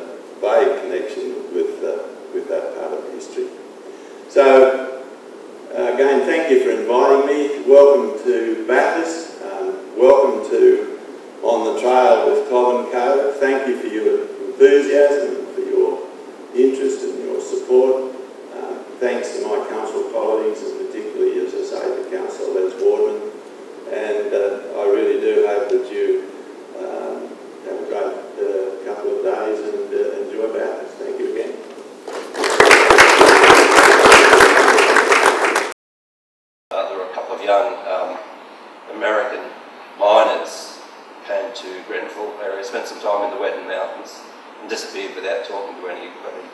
Some people seem to think they may have been two, two of the sons of Frank Gardiner come back to recover the gold that was left behind. Confrontation with, with authority is an essential component of the outlaw legend. The Gilbert Hall Gang, for example, rampaged far and wide across central New South Wales in the early 1860s, stealing stock travellers committing murders, attacking towns and invading homes. As the seriousness of their crimes spiralled, they set out to deliberately, deliberately confront and embarrass authority figures. 24th of October 1863, John Gilbert, Ben Hall, John Vane, John O'Meally and Mickey Burke laid siege to Gold Commissioner Henry Keightley's home at Dunn's Plains, just south of Bathurst. Following a wild gunfight, in which Burke was killed, Keightley was held ransom under threat of death, and his wife, until his wife could raise a £500 ransom. This was the equivalent to the government reward that was offered for uh, the capture of Mickey Burke. We've told this story using the timber door, as you saw in the previous um, slide. Uh, that's the door from Keightley's Duns Plains homestead, and that's been loaned to us by the Bathurst District Historical Society. There's also a bullet taken from the homestead wall, which has been loaned to us by Powerhouse Museum. And also this Patrick Moroney painting titled Woman Pleading with Bushrangers, and this is depicting Mrs. Keightley pleading for her husband's life. A second attack on the home of a prominent local authority figure is told in the outcomes part of the exhibition. The reality of outlawry often saw communities living in fear, innocent people killed, outlaws captured or killed, and ordinary people become heroes. People who fought back against the depredations of bushrangers were often rewarded for their bravery, creating their own place in legend. Money was given, presentations made, and in the 1870s a series of bushranger medals were presented. David and William had both been uh, outspoken uh, critics of the Hall and Company, and a short time before this attack had led an armed party into the adjacent hills to try and track them down. In the two-hour gun battle that followed, William was wounded. The property stables and barns were burned to the ground. Station hands refused to help the Campbells in their fight. Um, William, although being wounded, made his way off to Eugowra to raise the alarm. O'Meally was fatally wounded in the gunfight, and Hall and Gilbert fled after removing all the valuables from his body. Leaping out of uh, balconies onto horses, and in, at the culmination of the film, plunging 80 feet from the top of the stagecoach to a river below. Um, there's also a, a, love interest with our boxing parson saving his sweetheart from the hands of the villain. That's the film we can see in that slide. The film was released in Sydney on 24 January 1920 to popular acclaim. Uh, the Sydney Mail of 4 February 1920, however, commented that the film was steeped in Americanisms which is probably appropriate. The um, Snowy Baker was probably the only was the only Australian actor in it. The rest were from the USA. The Sun observed that Baker had made considerable or had considerable headway to make as an actor. Believed to be one of those used by the Nolan brothers of Gunnedah on the mail and passenger service that ran between Gunnedah and Coonabarabran until about 1919, when it was acquired by the film company was used in a number of other films. Then sometime in the mid to late 1920s it was donated to the Royal Australian Historical Society where it was used in um, a procession through the streets of Sydney during the sesquicentenary, sesquicentenary celebrations of 1938. After that it was displayed in the store, uh, in the stables at Vaucluse House for a number of years, then at Gulgong Pioneer Museum for a number of years the two Cobb and Co vehicles that are in the National Historical Collection. Uh, firstly, there's a freight wagon, similar in appearance to this one, that reputedly ran between Fowler's Gap and Tarrawingee in the northwest of New South Wales. Uh, this was part of the Horse Era, Horse Era Museum of Canberra collection that was acquired by the Commonwealth Government in 1979. Uh, we have to do a lot more work to find out more about the background of, of this vehicle. Secondly, we have a 14 passenger coach that carried passengers a mile between Yulba and surrounding Queensland until August 1924. This coach was purchased from Cobb and Co by the Commonwealth Department of Home and Territories in late in December or early in January 1925. Because storage space was scarce in Canberra, the coach was placed in the store at the Brisbane Showground from March 1929, moved to Canberra in 1927. January 1932, the coach was used in an NRMA organised pageant uh, to celebrate the opening of Sydney Harbour Bridge. Uh, it, late in the 60s, it was restored and reconditioned, painted, reconditioned you know, the wheels, curtains and seat covers were added, and it was exhibited in the Horse Era Museum until, until 1979. It was apparently used as a working vehicle vehicle carrying passengers was also stored in the open. Went into storage after that, and then in the mid-1980s, went on long-term loan to the Cobb and Co Museum at Toowoomba, and that's where you can see it today. So I'd just like to conclude with a quick commercial. Um, the National Museum of Australia's travelling exhibition Outlawed will continue on display in Canberra until 25th of April when we'll travel on to Melbourne Museum and then all the Queensland Museum. I'd like to thank you for inviting me here to speak today. I don't know whether we take questions or...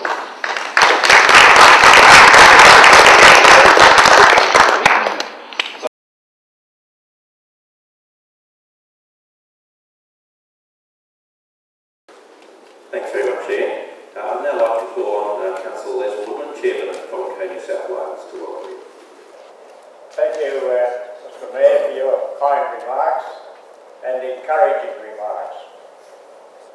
And when I see the number of people we have here, I believe we do need encouragement because it'd be so easy to get downhearted and depressed because this place is not overflowing this morning. We did not at any time expect that we would get a large crowd. What we want, of course, is an enthusiastic and strong crowd. And the fact that we're lacking in numbers is, is indicative of the attitude of most Australians to their history. It's been neglected in the past, and I've no doubt, unless we do something to stir enthusiasm that way, and I'm looking forward with great hope that the present Premier will be one who's, he has stated that our history is something we've neglected and it's something that we've got to look after. So I hope that those of you that are here feel it's worthwhile and we're buoyed by the fact although the numbers aren't great, the quality is great. And that's a big fact. My interest goes back all my life, I believe. And here in Bathurst we had a museum I used to get down there and watch the, look at the lions and the tigers all paraded in their glass cases. And away in the corner, in a dark part of the corner, was a Covent coach. And I was in there one day with my father. I don't know how it happened. There was eight in our family and I was about the middle one. But he and I were there alone. And I walked over and I'm admiring the coach and he picked me up and he put me in the coach and told me all about it. He was born in Hill End and was very conversant with what happened out there. And I climbed down to the front of the coach and I sat up there like kids do. You imagine you're the driver and Dad was telling me how talented those men were. And by the grace of God and good fortune, I eventually got into a position where I could help myself and help the coach. I got onto council and I was elected as chairman of the TAFE Citizens Representatives and I held that position for a few years. And that was the time that Neville Wran and his party got into Parliament in New South Wales. And uh, the principal of the college said to me one day, Les, we're going to lose all that we've got here. It's all going down to the Powerhouse Museum. And I said, well, we're not letting the coach go. He said, well, everything's going. And eventually, Neville Wran came to Bathurst. Uh, he brought the cabinet up here. And I got to know him very well. And uh, I met him on many occasions, just man to man, he and I. And if he was travelling west, invariably his secretary would ring and say, we can drop into the airport, you want to see me? And out I'd go, and then be just he and I talking in the, in, in the, uh, room itself. And I said to him that my great concern, a very mundane thing, but I said, I've heard that you're going to take a coach. And he said, well, there's, there's, everything's got to go down to the, the new museum. And I said, well, we want that, and we're not going to hand it over. And he said, you, if you can establish proof of who, who owns the coach, he said, you can keep it. And I said, right. I then went up to the archives of the Historical Society and I went through all the papers that were there. And a, a great time because what I was reading was things that I read when I was going to school. All the arguments and debate about whether the air was going to go and what they were going to do. And I was there for a couple of days. I did not find one item of reference to the coach. And I was almost desperate. One night I received a phone call and uh, this woman said, Mr. Woodman, are you still looking for the owner of the coach? I said, yes, we are. And she said, that's grandfather's coach. I said, good damn it, old woman, if I dare you, I'd hug you and kiss you. that was the first indication we had. And she remembered as a kid, the coach was down in the backyard in the back shed and not wanted. No one wanted an old coach. It was all over and done with. A new era was there. We had a motor car. And so it was from that that I got the, the uh, coach back to us and Neville Wran. I don't think he would have taken it actually, but he said, gave us the freedom then to do what we could with it. We sent the coach up to Newcastle to TAFE and they made an absolute mess of it. And when it, we didn't know, I didn't know anyhow. We came back, we put it on display, and a fellow from uh, was going through one day, a fellow by the name of uh, Don Burns. And he contacted me and he said, that coach you've got there, and he said, they've got rubbish in it. I said, well, you better show me. Then I came down and he showed me where a few things on the front where they had three ply. And it wasn't right. And he said that. He said, I'd like to repair the coach. I'd like to bring it back to what it was. And I said, well, it's a matter for the council's consideration. We had to pay for it, of course. And I think the, was, I think the quote was $20,000. So we shipped it up to Narromine. And I read up periodically and I didn't see much movement. And the last time I went there, which frightened the dickens out of me, our coach was a heap of metal in the middle of the room. And he said, that's the hard to go. yeah, I will, mate, right. But anyhow, he said, well, I, have been a bit dilatory, but I'll get him stuck into it. Now, he did. Now, those of you that haven't seen it, go look at it. It's down the bottom of William Street. That is our coach. And that coach I've been associated with since 1927. I was eight year old when my father lifted me into the coach. And that's been a part of my life. I have never been in the coach since the day Dad lifted me into it. I would not go into it. I've had plenty of opportunities. I haven't even sat in the driver's seat. And when we got it back fully in it, the condition it is, and council were very supportive and they put a, a resolution through that the coach was not to be used for any display purposes, uh, for display purposes only. No one was to get in. That bylaw was breached three times by our chap that was in charge of the information centre. He's been photographed three times out of the city. I've never been there. And this one, of course, is one that we got because we couldn't use the other one. Because we, we believe our coaching history justified it, we decided to get this one. Don Bird talked me into it. He said, Wardy, I've got all the stuff up there to build a three-seater coach. And I think, I'm not sure, I think it's about $30,000 to do it. That is this one. And we've got it for the people to use.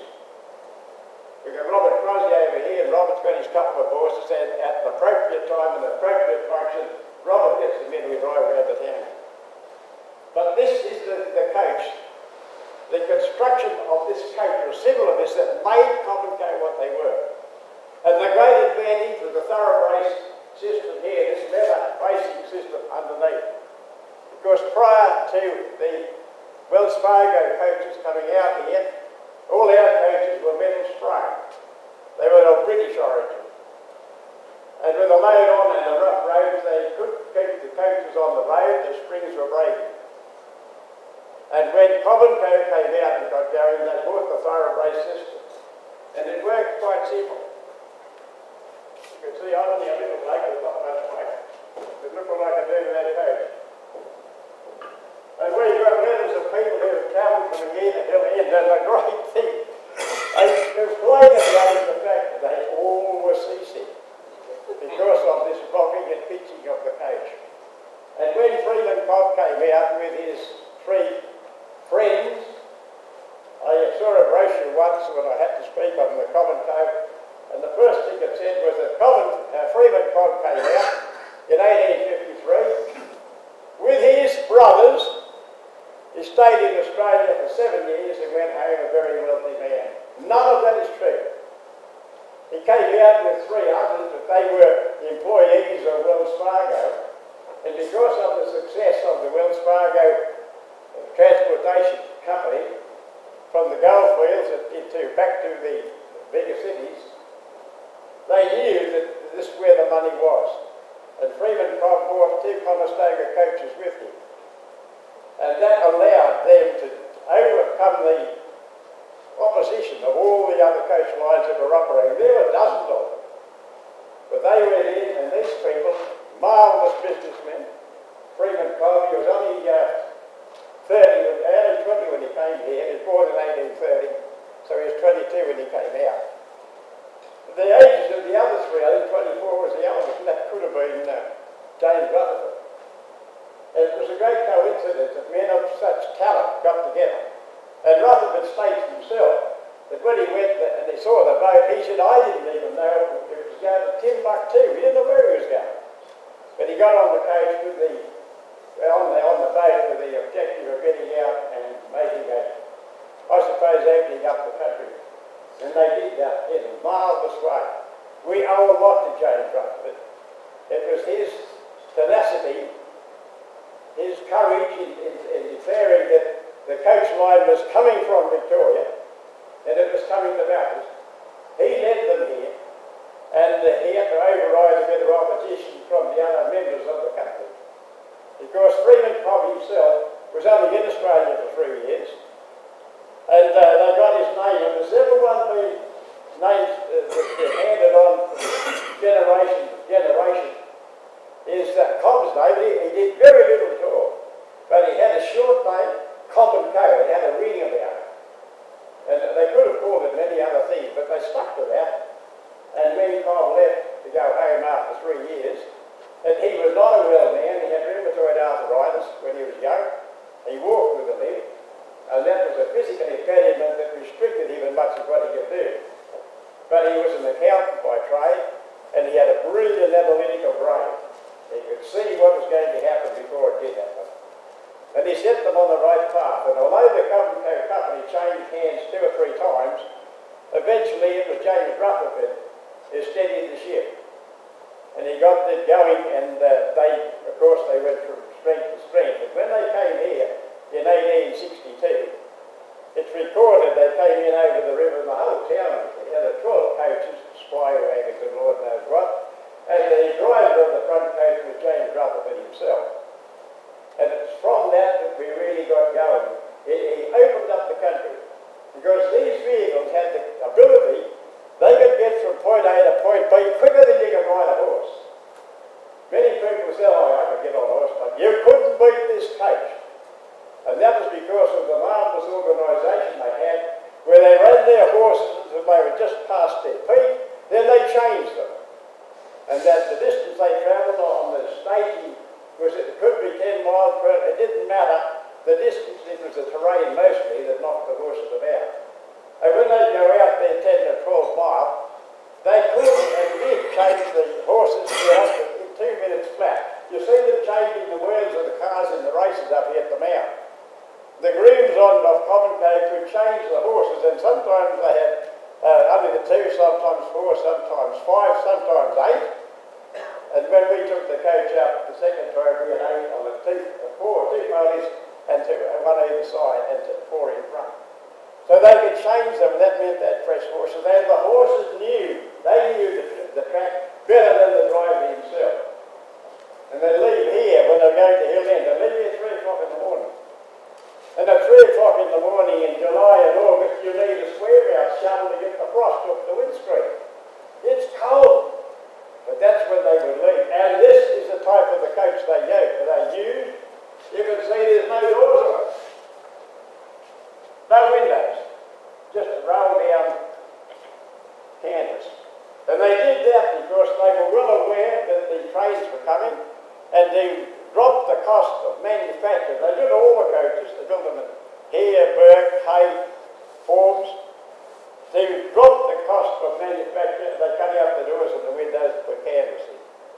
Very uncomfortable, I'd imagine. But it was what they could do was get there quick, the coaches were light, the horses were bred for the job they had to do, and the trip from here to Hill End was 16 hours.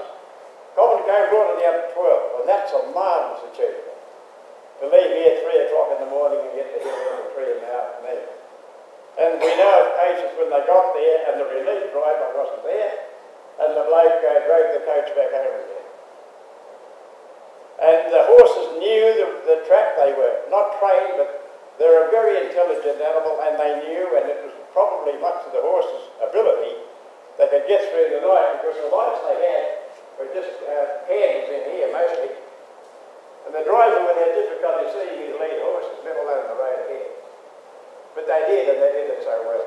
So we, we do owe a lot to Cobb and Co we, because they, by going out there 10 or 12 miles, then the first thing they'd say, well, look, this, we try and settle here. This is a nice distance from where we're going. The first thing that happened was a, a shanty would up. Someone was flying groggers up. And then a blacksmith shop.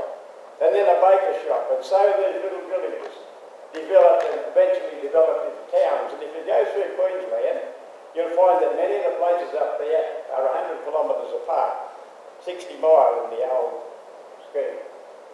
And that was the distance they could travel on the horses in a day, or the comfortable distance.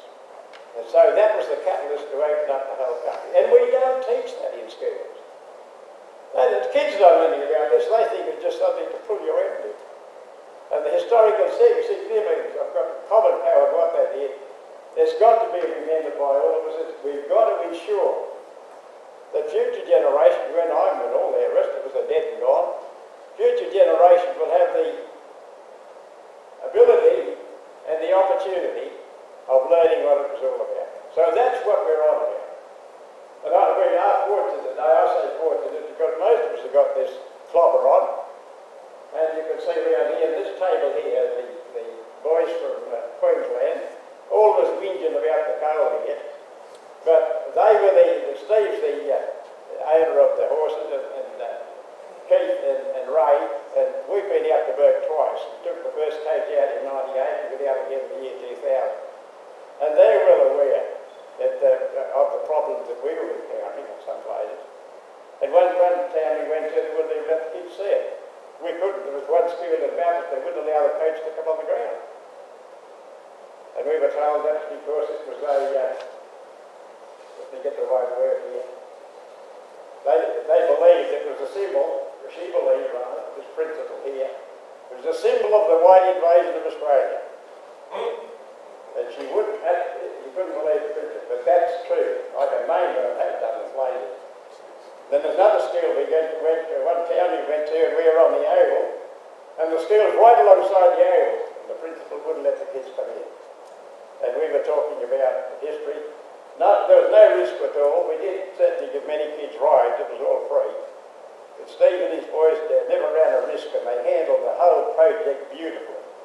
And I believe the success, what success we had, is attributed uh, to a great extent to their ability and their sensitivity to the danger situation.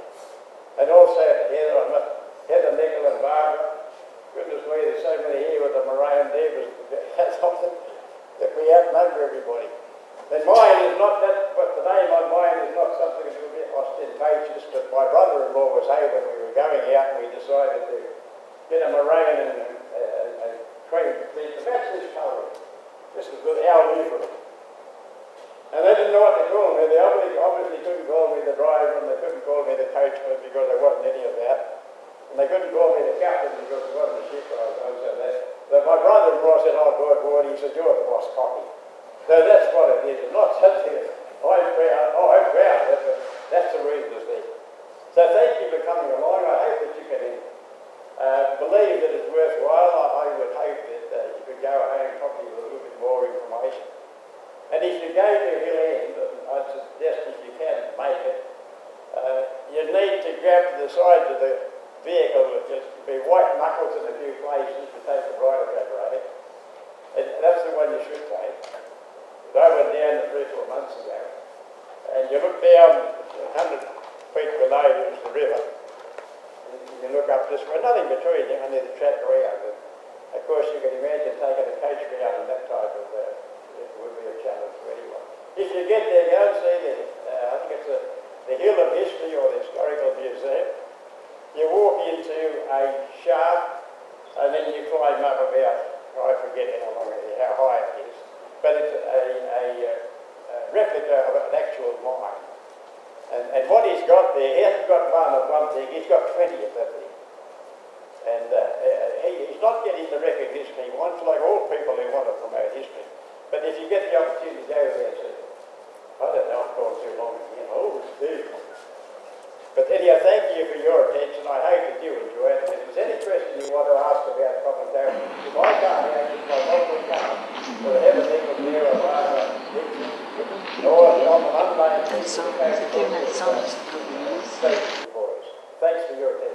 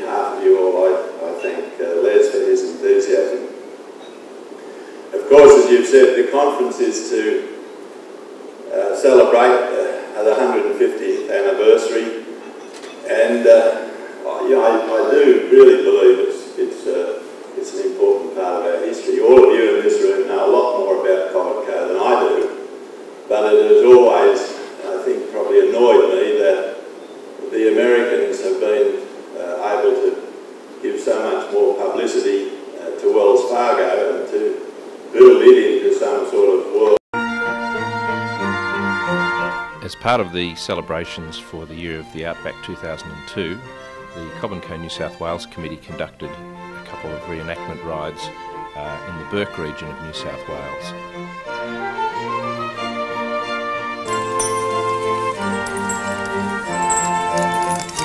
One of the rides was from the town of Brewarrina to Bourke, and the other uh, from the town of Barringun up on the New South Wales Queensland border, also terminating in Bourke.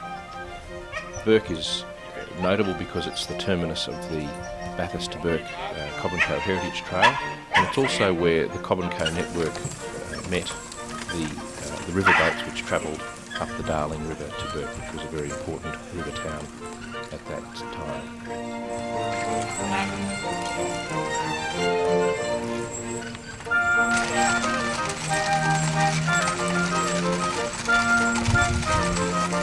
Thank you.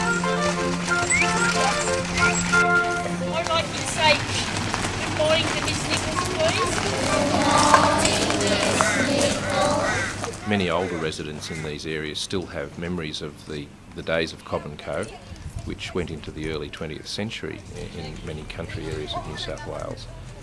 And to honour this enthusiasm for Cobb and Co and to assist in passing cultural heritage down to future generations, the reenactment rides made a particular point of visiting local schools along the way. Some of the schools they visited uh, were Enngonia School and Brewarrina School.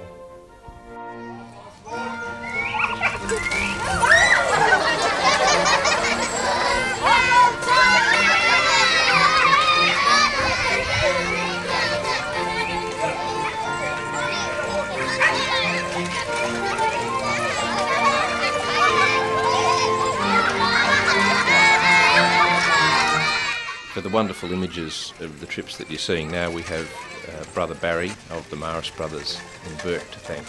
Brother Barry raced all over the place getting footage of both the trips and uh, he's done a wonderful job. Coaches and the horses you're seeing here uh, are as would have been used uh, in the heyday of Cobb Co.'s uh, enormous coaching network over eastern Australia. The coaches are handcrafted from timber and steel with traditional thoroughbrace leather suspension, providing a similar ride for the passengers as, as would have been enjoyed by the uh, passengers of Cobb and Co in days gone by.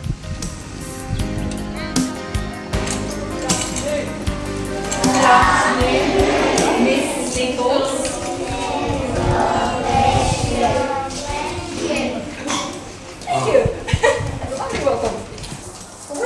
Very, excited to be able to come along this afternoon and show you the Cobb and Co coach and the team that goes with it. Now, New South Wales coaches, Co coaches, wore traditionally this colour, red and yellow. And Co operated in Queensland, in New South Wales and in Victoria. Horses are uh, crossbreds uh, as traditionally used uh, by and Co. They were a crossbreed between uh, thoroughbreds and draft horses and this provided the, the pace and stamina. There's so much tangible evidence still out there from the coaching days. Buildings like this that go back to the days of Cobb and Co. The old inns, the relics that are out there, sections of the old road.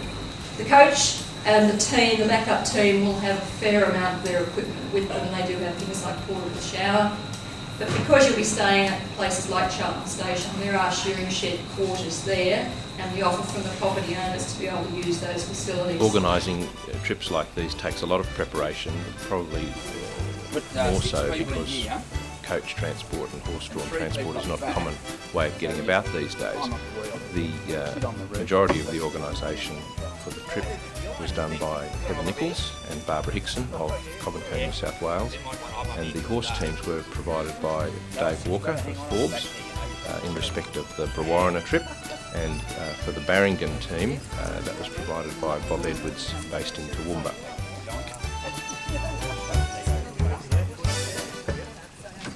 Cobb Co.'s coach drivers, who were also known as whips or jehus, were Australia's heroes of the 19th century.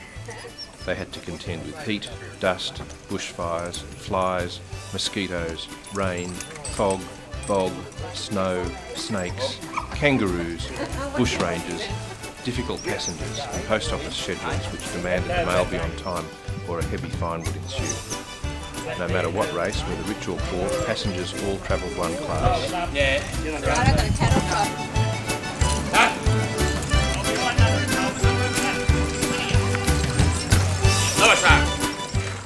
The term box seat arose from this era. Travellers often paid big money to sit on the box seat next to the driver, where they would listen to his yarns, poetry or the latest folk songs. Sometimes the box seat was even auctioned to the highest bidder. Cobb Co.'s coach drivers were great entertainers who could recite ballads, sing songs and tell stories, some of which were rather exaggerated. All male passengers were required to help with any difficulty with the driver's command.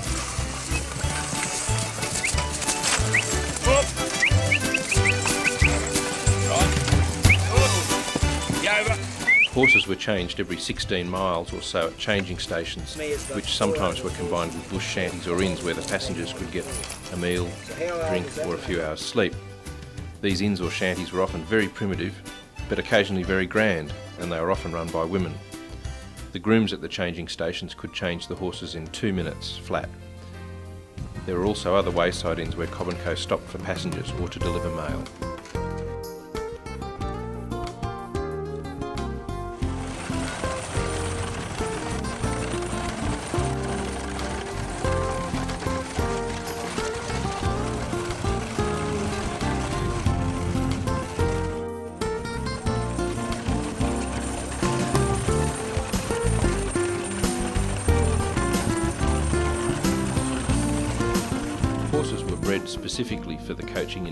Were strong and speedy. Coach teams were matched on performance, size and temperament, as well as colour and markings. Teams of three, four, five, six or more horses pulled the coach depending on the size of the coach and the topography of the route. The drivers had favourite horse teams and it was the groom's job to have the correct team of horses ready for the driver as the coach came into the changing station. The team from the last section run was unhitched, fed and groomed, the fresh team hitched to the coach to thunder off across the countryside to the next changing station.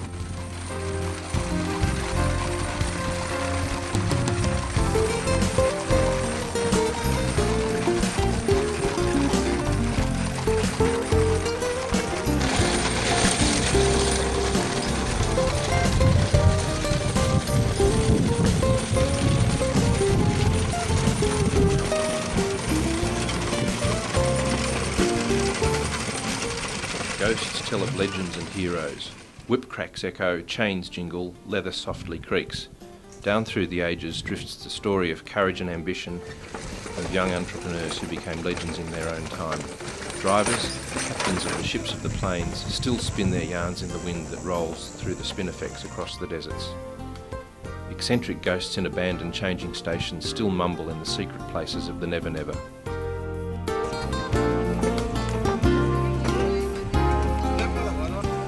These are the men and women who put the first lines, a network of interaction across our country. They wove a net of brilliance, of daring, of life's adventure, crisscrossing each other's destinies. Bejewelled with gold mines and the rich cultural heritage of the world, the net reached out, ensnaring and entaming the bush, the outback, the drought and the floods. The net has survived the trials of time. Life has flourished. The ghosts remain, and the myth and legends are now part of the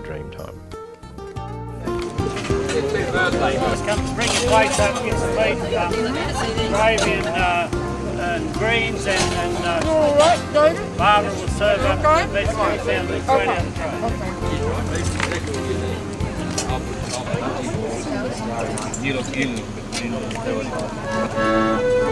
Anyone else hungry?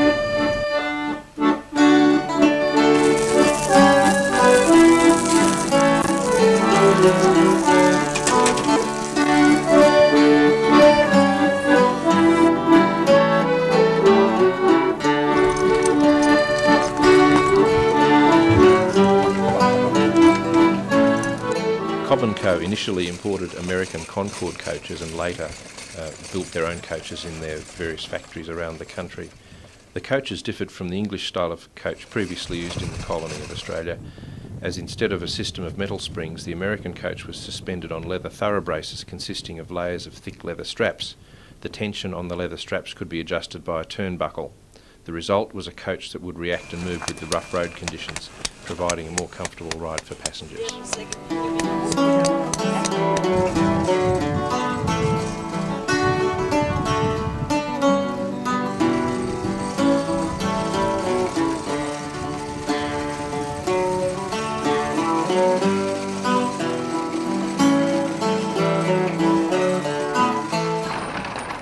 Some of the material in this production has been based on the Cobb & Co.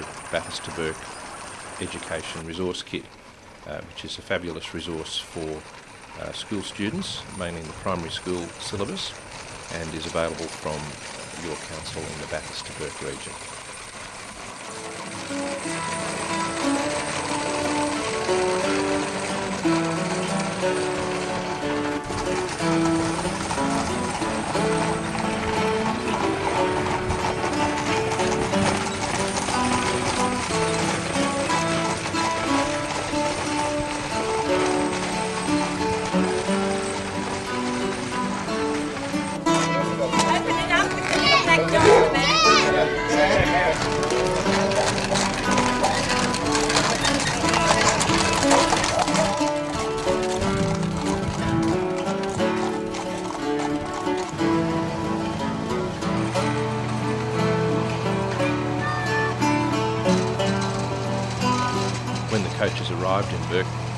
Received an enthusiastic welcome from the local community. and The Mayor formally welcomed the travellers to the town of Bourke. I hope you all enjoyed this very memorable occasion that, that you uh, were able to partake in. I understand that the uh, the trips and the stages were uh, pretty much booked out and thoroughly enjoyed. And uh, although I must say uh, I had my doubts about the drivers there coming uh, coming along, uh, we haven't got the local constabulary here, but uh, had I been driving a car, I think uh, there may have been some questions asked by the people in blue if I'd been behind the wheel after the tracks I saw coming in. But I, I guess uh, that highlights progress in so much that today we have all sealed roads that we take for granted in, in many parts of, of the western area of the state as indeed elsewhere in the state. Whereas when these coaches plied their trade back in the early days, basically all they had were rough bush tracks. Like thousands of Cobb and Co passengers before them, the participants in the ride, who came from all walks of life, greatly enjoyed their experience. And they got together at the conclusion of the ride with a farewell dinner to celebrate their event. Sent a few certificates to everyone who participated for the full length of the week. We've had a, a few more join in over the time, so there might be a little bit of paperwork we need to catch up with. There you are, Mary. Thank you very much. Queen of the oven. Little one of those. They're also from Mudgee. Mudgee takeover. Everyone on his coach would agree it's an absolutely lovely character and one that we ourselves are so proud to have had join us, David Rutherford.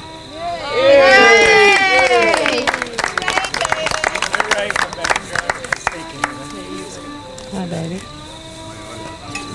Some of the ladies were actually quite elegant, but none other than Anne Nicholson, who I believe kept a level of uh, comfort, style, grace throughout the whole trip. I have heard some stories on both sides of that, Anne, but we do have an award for elegance on the trail. So thank you very much. Given a pretty startling copy of the Sheer Outback Shearer's Male Nude Calendar. I've just come from the opera. Oh, thank you so much. We have a certificate.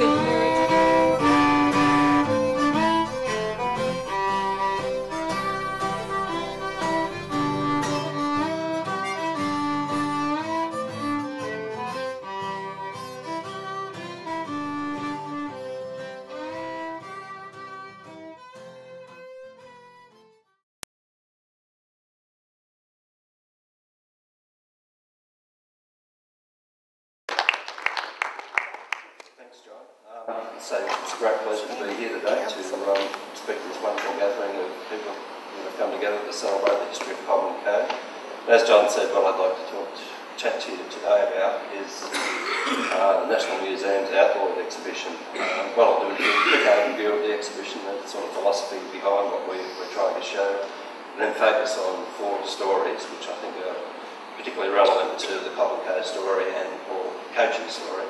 And to, to Bathurst itself. Um, our Outlaw exhibition is currently located in the 900 square metre temporary exhibition space of the National Museums building on Acton Peninsula in Canberra.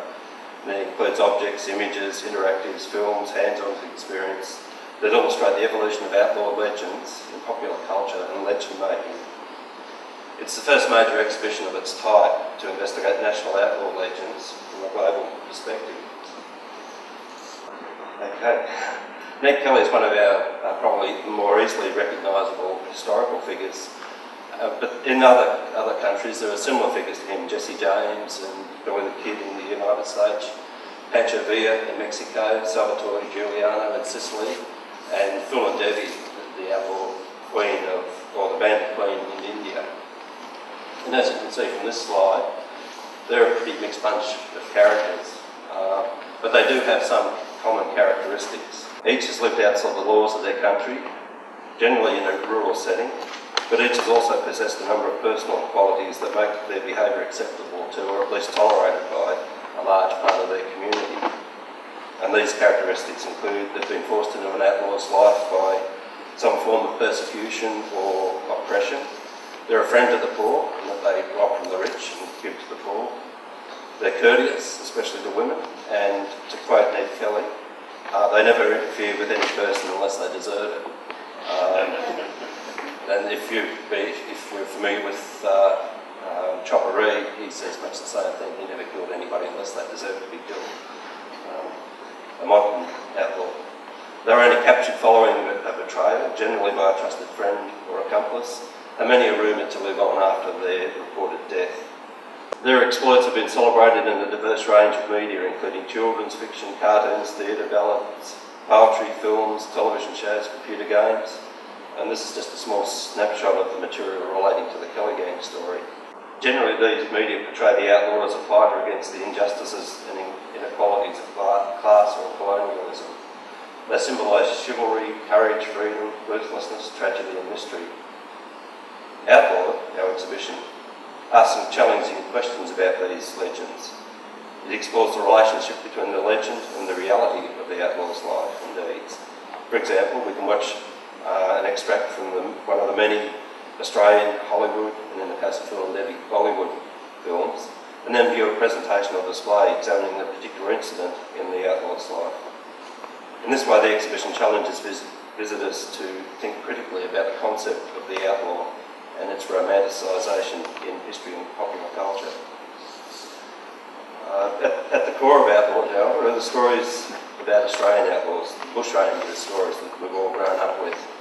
Um, this part of the exhibition is the largest part and covers the period from the escape, the first escape of the convict Black Caesar in the 1790s until the governor's outbreak of 1900. The great majority of bushrangers, of course, was simply petty rural criminals who quickly disappeared into obscurity, and it's only a few that have grown to be celebrated in Australian folklore. By placing their stories in a wider global context, a fresh perspective on our Australian stories is gained. Visitors are able to find out how our, how our Australian stories and histories, legends and conflicts and implicit values um, compare and contrast to those of other countries. So let's take a quick look through the quick walk through the exhibition. The exhibition is divided into 10 major sections and we look at the, the stories are arranged thematically rather than chronologically or biographically. Um, we begin with a look at the foundation myths of outlawry. The story of Robin Hood, who's the archetypal um, outlaw hero, and that's the small display of him in the bottom. Uh, I think you could get one's Robin Hood, I can't point to it from here, I'm sorry. Uh, to show, but, this uh, outlaw legend isn't just a Eurocentric one, it also exists in, in uh, Asian culture, Eastern culture, and so we look at the stories of Ishikawa Goemon of Japanese mythology, and the water margin bandits of China. The body of the, of the exhibition is introduced by the John Hanlon transcription of Ned Kelly's Jerilderie letter. Uh, Kelly is probably one of the few uh, to leave a written, few bushrangers to leave a written justification for his life of crime. Uh, his outlaw gang raided Jerilderie in February 1879 to rob the town's bank and to have a document later known as the Jerilderie letter published. Uh, this is much more than a simple excuse for his past actions. 56 pages of angry word, words, which in effect is a declaration of war against the authorities of northeastern Victoria. He admits the crimes, like cattle stealing and killing police, but it was also all, but it was all the fault of the police and other authorities, not his. He proclaims a true political agenda in that he calls for the large landowners to sell up their properties and, and distribute the uh, proceeds amongst the poor. And the letter ends with a dire threat. I am a widow's son, outlawed, and my orders must be obeyed. We move through the sections. In making an outlaw, we look at some of the deeds that have made people into outlaws, cattle duffing, highway robbery and murder, and we'll look at a, um, an Australian highway robbery story in a minute. Confrontation, looks at the conflict between the outlaw and authority figures. Pancho Villa, for example, one of the revolutionary armies that brought down the downfall of the, that brought about the downfall of the Mexican government in around about 1915, I think it was. Um, we'll look at a, an Australian confrontation story outcomes, looks at some of the consequences of outlawing activity. For example, bushrangers like Frank Gardiner and Frank Pearson were Rajab, at least for a short time. But on the other hand, some civilians were rewarded for their role in capturing or killing a bushranger, and it's one of the stories we'll look at in a minute. And, as the name implies, looks at the variety of ways outlaws met their deaths. Few of the well-known uh, ones died in their beds. Ned Kelly, for example, I'd like to say that um, without the support of uh, national, state, other state, national, state, local and private collectors, we wouldn't have been able to um, put on this display. Only 20% of the objects from our own collection. 40% um, come from national uh, and other state institutions, 18% from private collectors, and most importantly, 10% come from local museums. Armed robbery is one of the more most common of outlaw crimes. Travellers, isolated homesteads, mail coaches, golden stores, and even small towns like Canowindra and Georgie were held up. The Gilbert Hall Gang, for example, reputedly robbed 10 mail coaches, 21 homesteads and stores, and took charge of Canowindra three times. They also attacked the town of Bathurst in October 1863. So what is regarded as one of Australia's largest armed robberies occurred on 15th of June 1862. On that day, at the foot of a rock-strewn hill about six kilometres past Eugowra, a large group of men wearing red shirts, red caps, and with their faces blackened, bailed up and robbed the gold escort travelling from Forbes to Orange.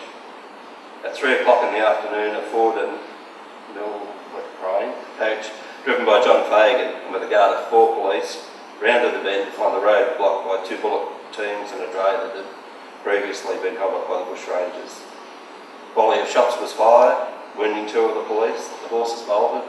The coach rolled over. After returning a few shots, the police and the driver uh, retreated to, to raise the alarm. The coach was carrying 2,719 ounces of gold plus about £3,500 in money in cash. At the time that was a value of £14,000. But in today's terms, with gold selling at around about $550 an ounce, the gold alone itself would, today would be worth 1.5 million. The police quickly recovered about 12,000 ounces of the gold and made several arrests. Ultimately, only four men, however, were placed on trial for the robbery. John Maguire, who was acquitted, Henry Manns, who was hanged at Darlinghurst in March 1863, and John Bow and Alexander Fordyce, who were both sentenced to life imprisonment. The alleged mastermind of the crime, Frank Gardiner, fled to Queensland, where he was captured in uh, February 1864, returned to Sydney and eventually sentenced to 32 years jail, but not for this, this um, robbery, but for other crimes. Ten years later, however, in July 1874, he was released and sent into exile. Uh, he died in the United States of America early in the 20th century. At the same time as Gardiner was released, 23 others remaining in jail for bushranging crimes were also pardoned and they included John Bow and Alexander Ford guys. Ford and Mylecharane, the company whose coach was robbed, was taken over by Cobb Co shortly after the Eugowra robbery. Uh, the balance of the gold, however, about $800,000 worth in today's terms, was never recovered. There are rumours that anyway into some sort of worldwide legend with the assistance of uh, Hollywood, of course, which uh, is a big plus that we don't have. Uh, but I suspect that around the world, certainly Wells Fargo is probably thought by anybody who's heard of it to have been perhaps the foremost uh, coaching service in the days of horses and coaches. And as you all in this room know, uh, Cobb & Co was a, very number of times uh, bigger, better, more efficient and everything else by any criteria you can pick than, than Wells Fargo was. And, and perhaps what you're doing today in some ways uh, uh, going to make me much happier because it will rectify that bit of uh, some of that history. Uh, I think it's, uh, from our point of view, of course, uh, it's, it's interesting that this is the right place to celebrate 150 years in Bathurst because Bathurst was the uh, national headquarters of Cobb & Co from 1862 uh, and it's something that uh, we're proud of and, and, again probably haven't paid as much attention to as we should have uh, but um, again perhaps we're starting to rectify that. The whole concept of the Cobb & Co trail from Bathurst to Bourke I think is, is, is a great idea. And And it's a great example of the fact that um, uh, local communities, local councils and local people can come together across a great stretch of New South Wales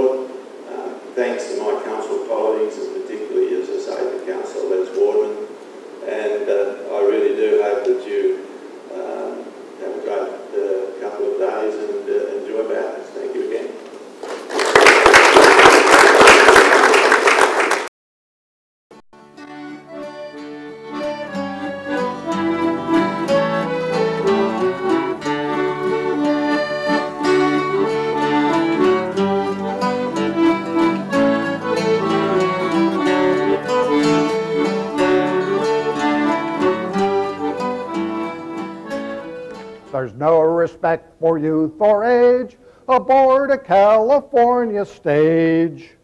But pull and push about for seats as bedbugs do among the sheets. They started as a thieving line in 1849.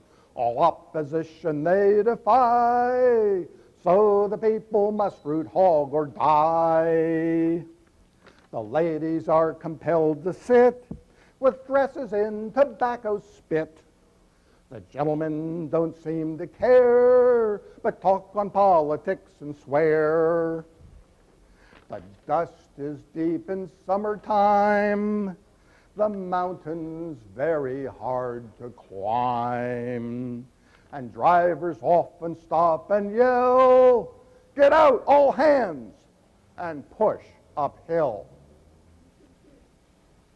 We're on the trail with Cobb and Company. I'm Bob Chandler here in San Francisco.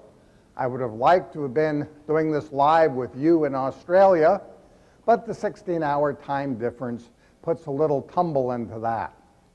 We are on the second floor, the mezzanine floor of our museum, so you may be hearing tourist noises, outside noises, but this is live. We're delighted that you are celebrating your 150th birthday. It's something we did two years ago.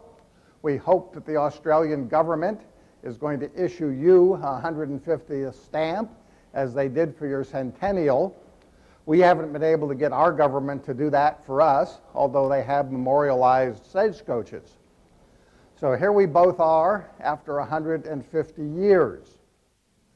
Gold, that precious yellow metal, led to the formation of both of our companies. In California, the gold rush began In 1848, when James Marshall found flakes in a mill race, and Sam Brannan, just a few hundred yards from here, raced around Portsmouth Square saying, Gold, gold, gold on the American River, and depopulated San Francisco. Of course, our population came from all over the world, naturally from Australia. And some from Australia said, hey, these rocks look like the rocks we have at home.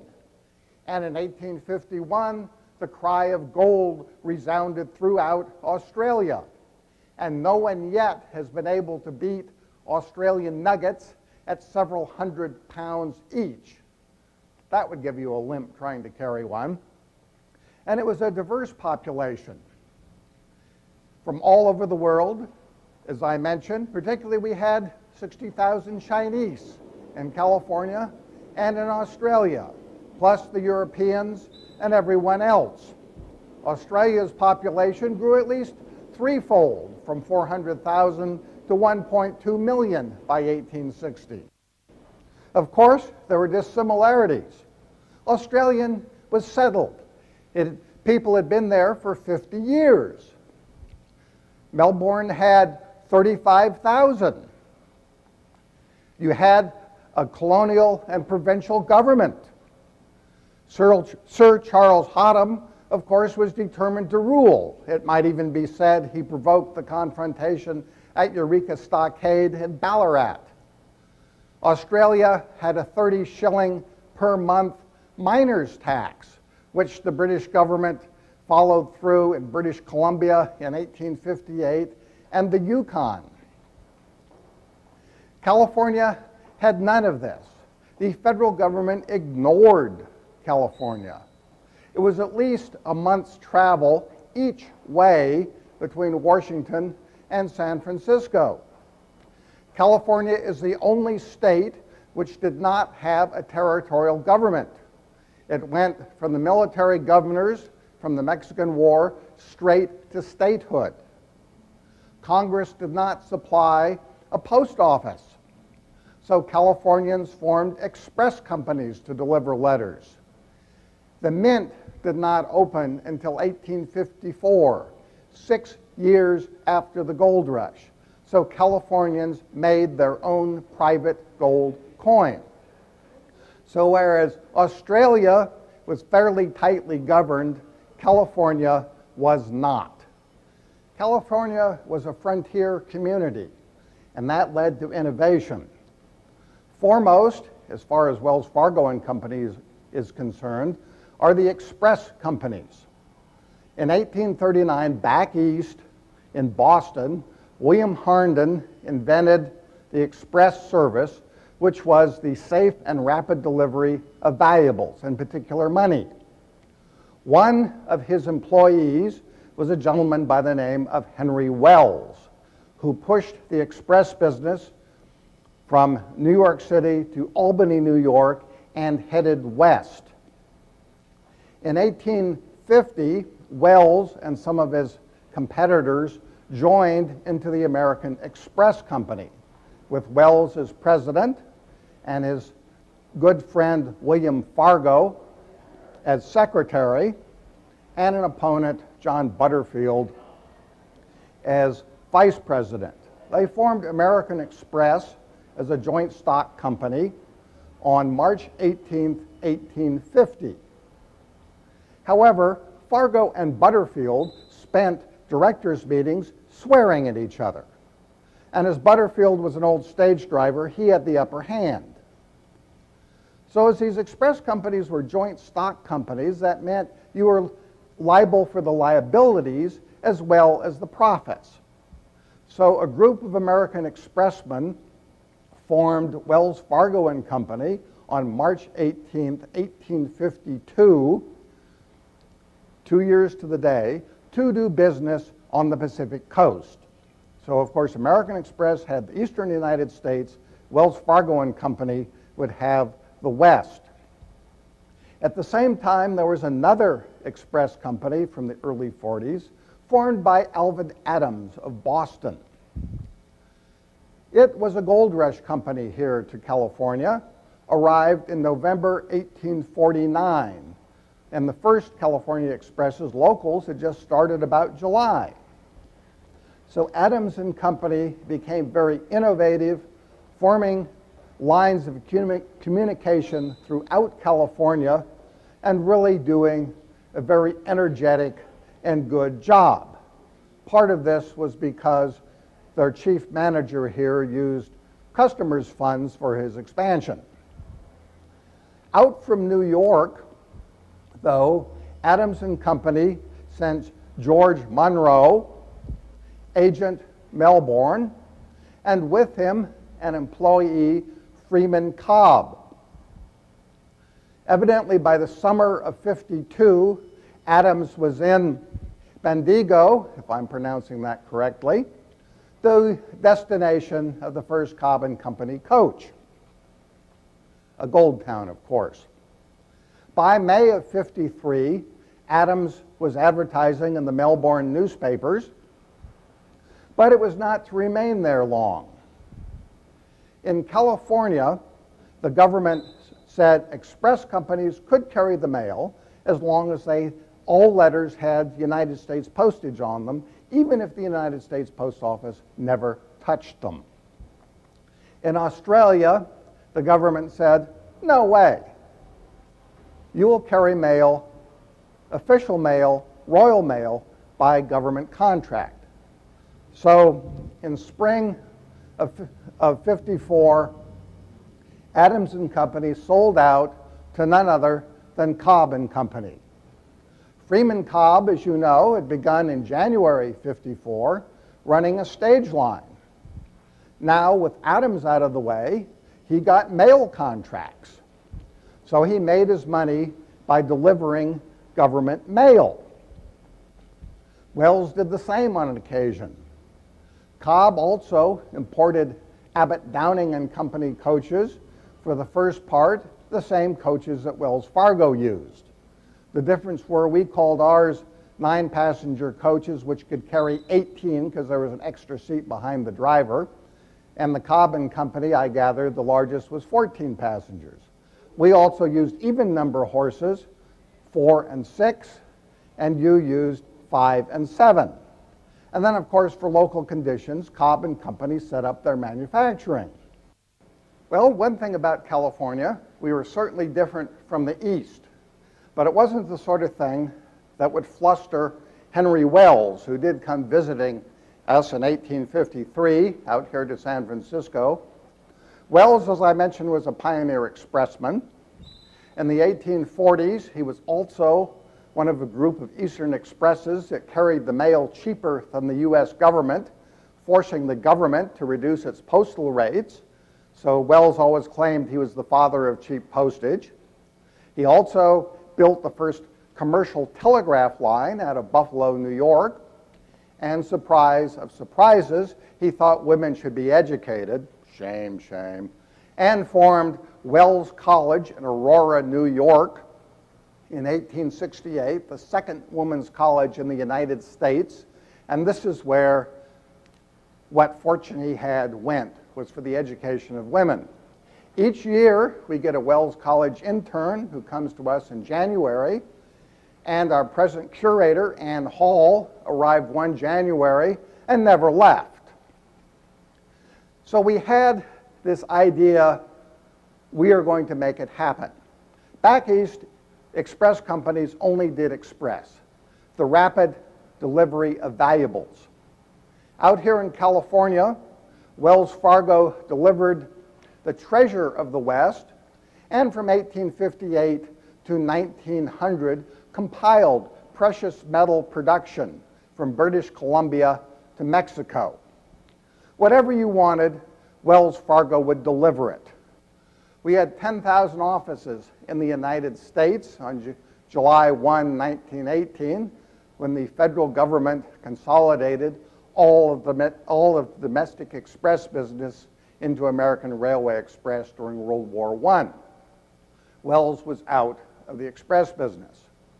However, in 1905, the banking business had separated from the express and were the direct heir of that.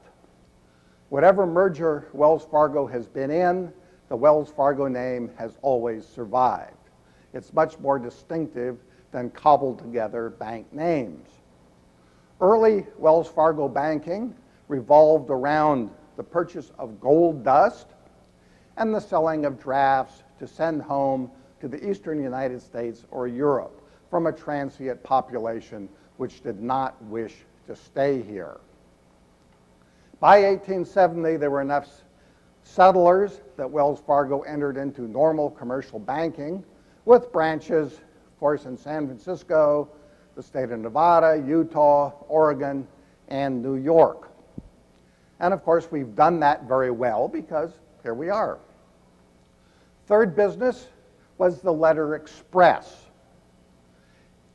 Wells Fargo sold government stamped envelopes for 10 cents. That included the 3 cent U.S. postage on it. Government never touched them.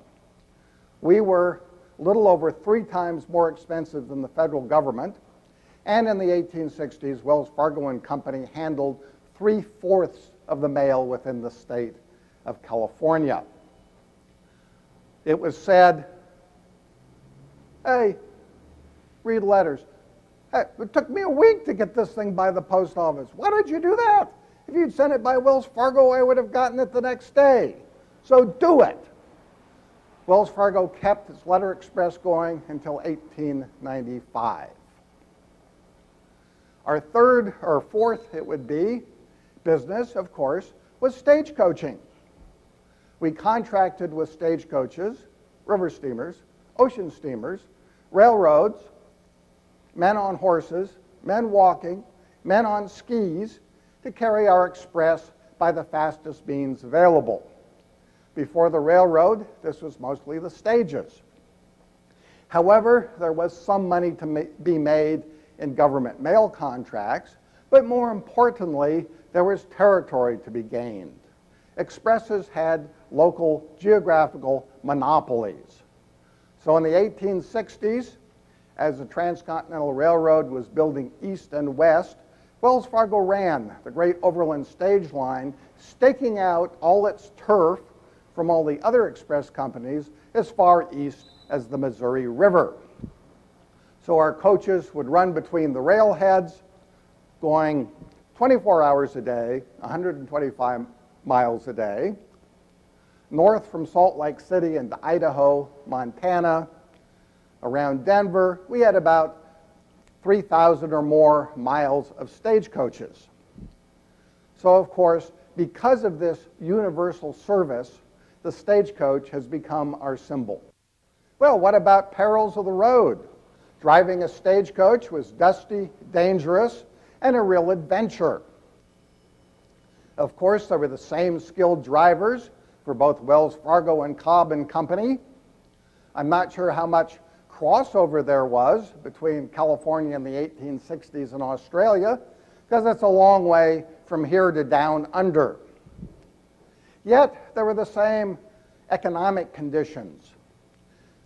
With gold in the stagecoaches, there's that, shall we say, unusual growth known as bush rangers. In California, our most favorite, famous was a gentleman named Black Bart, who from 1875 to 1883 held up 28 coaches carrying Wells Fargo and Company's Express and helped himself.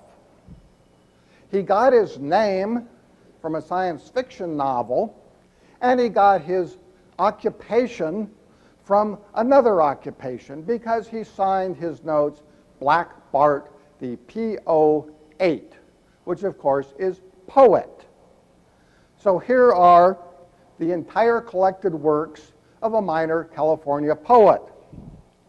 Here I lay me down to sleep, to wait the coming morrow, perhaps success, perhaps defeat, and everlasting sorrow. I've labored long and hard for bread, for honor and for riches. But on my corns too long you tread, you fine-haired sons of, etc. But come what will, I'll try it on. My condition can't be worse. But if there's money in that box, just money in purse, which of course is truth in advertising. Finally, Black Bart did what no good criminal should do. His last robbery was on the site of his first robbery. However, this time, as he was breaking open a stage safe, a friend of the driver came upon them with a rifle, which sent Black Bart scurrying, and he dropped a handkerchief. On it was the laundry mark FX07.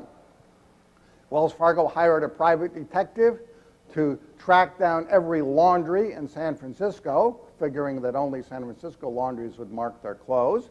And they found a very dapper gentleman with a gold headed cane, a diamond stick pin, a derby, who was enjoying life. This was our stage robber. Sent him up to San Quentin. He got out in four years for good behavior and disappeared. Maybe he went down under because we haven't seen him again. In contrast, you had Ned Kelly. From what I've read, it seems there was more of a class warfare here. And Ned, at least, was certainly innovative with his bulletproof armor, stovepipe hat, breastplate, and the dirty police shot his legs and then hanged the poor boy. What can I say? I'd like to talk about Wells Fargo's history program now. Wells Fargo has long been interested in its own history. We had a display at the Chicago Columbian World's Fair in 1893. We started buying back stagecoaches then and had three, which Wells Fargo and Company Express sent ocean to ocean from New York to the Pacific coast and even the Hawaiian Islands. By 1905, when the bank and the Express separated, the bank just had one office here in San Francisco. In 1918, the Express became absorbed by American Railway Express, and at the same time, due to other mergers and dead banks, Wells Fargo Bank became the oldest bank in the West, founded in 1852. Its advertising manager started buying back Wells Fargo memorabilia, which we still use for our marketing. This went along fine until he bought a stagecoach. For some reason, it wouldn't fit in his living room. So the bank took over the collection and in head office in the 1930s had the only history museum in San Francisco. Free then, free now. In the 1940s, we began school tours, which we still keep and expand every year. We also have nine museums total. Now I have to remember them all. San Francisco, two in Sacramento, one in Los Angeles, one in San Diego, one in Phoenix, one in Minnesota, one in Portland, and one in Alaska. The History Department also has the corporate archives where we collect records of the company and all of its merger partners going back to 1852. We do writings and publications, which I'm involved. And we have the Stagecoach Appearance Program. On any day, we can put 15 stagecoaches on the road. Last year, we had 625 events, and the coaches were viewed by 16 million people. But for specifics of this particular museum, I'm going to introduce curator Ann Hall, a graduate of Wells College, who will give you her program. Thank you for that kind introduction, Bob. It's my pleasure to talk about the Wells Fargo History Museum here in San Francisco and our programs that we offer. We have a number of visitors that come every day to the museum, upwards of 300 each day, depending on the tourist season. We have employees, Wells Fargo team members that come that simply want to learn more about their company history. We have walk-in visitors that includes tourists from the local area as well as internationally, hopefully some from Australia. And we also have school children that come to find out more about California history. So during the tour, we try to engage them at all different um, levels and um, ways of learning. We have hands-on activities that they can do. Um, they can feel what it was like to have a $20 gold coin in their pocket, feel the heft of it, which would be worth about four guineas, I'm told. Uh, we also have a nugget that they can feel and get the idea of what it might, the excitement um, you might feel if you saw that glinting in a river or something in our gold country area. And we also have a number of um, large items on display. We have a Concord stagecoach, an original coach that people can enjoy and look at. We have a reproduction they can crawl into, see what it would feel like to um, ride the cradle on wheels, as Mark Twain called it. We have other things that relate to our transportation history, mining, communication, gold, all different things here in our museum. If any of you happen to be in San Francisco, I'd love to have you stop by. Please ask for me and I can show you around our museum. Thank you. Happy, Happy birthday, Cobb and Company.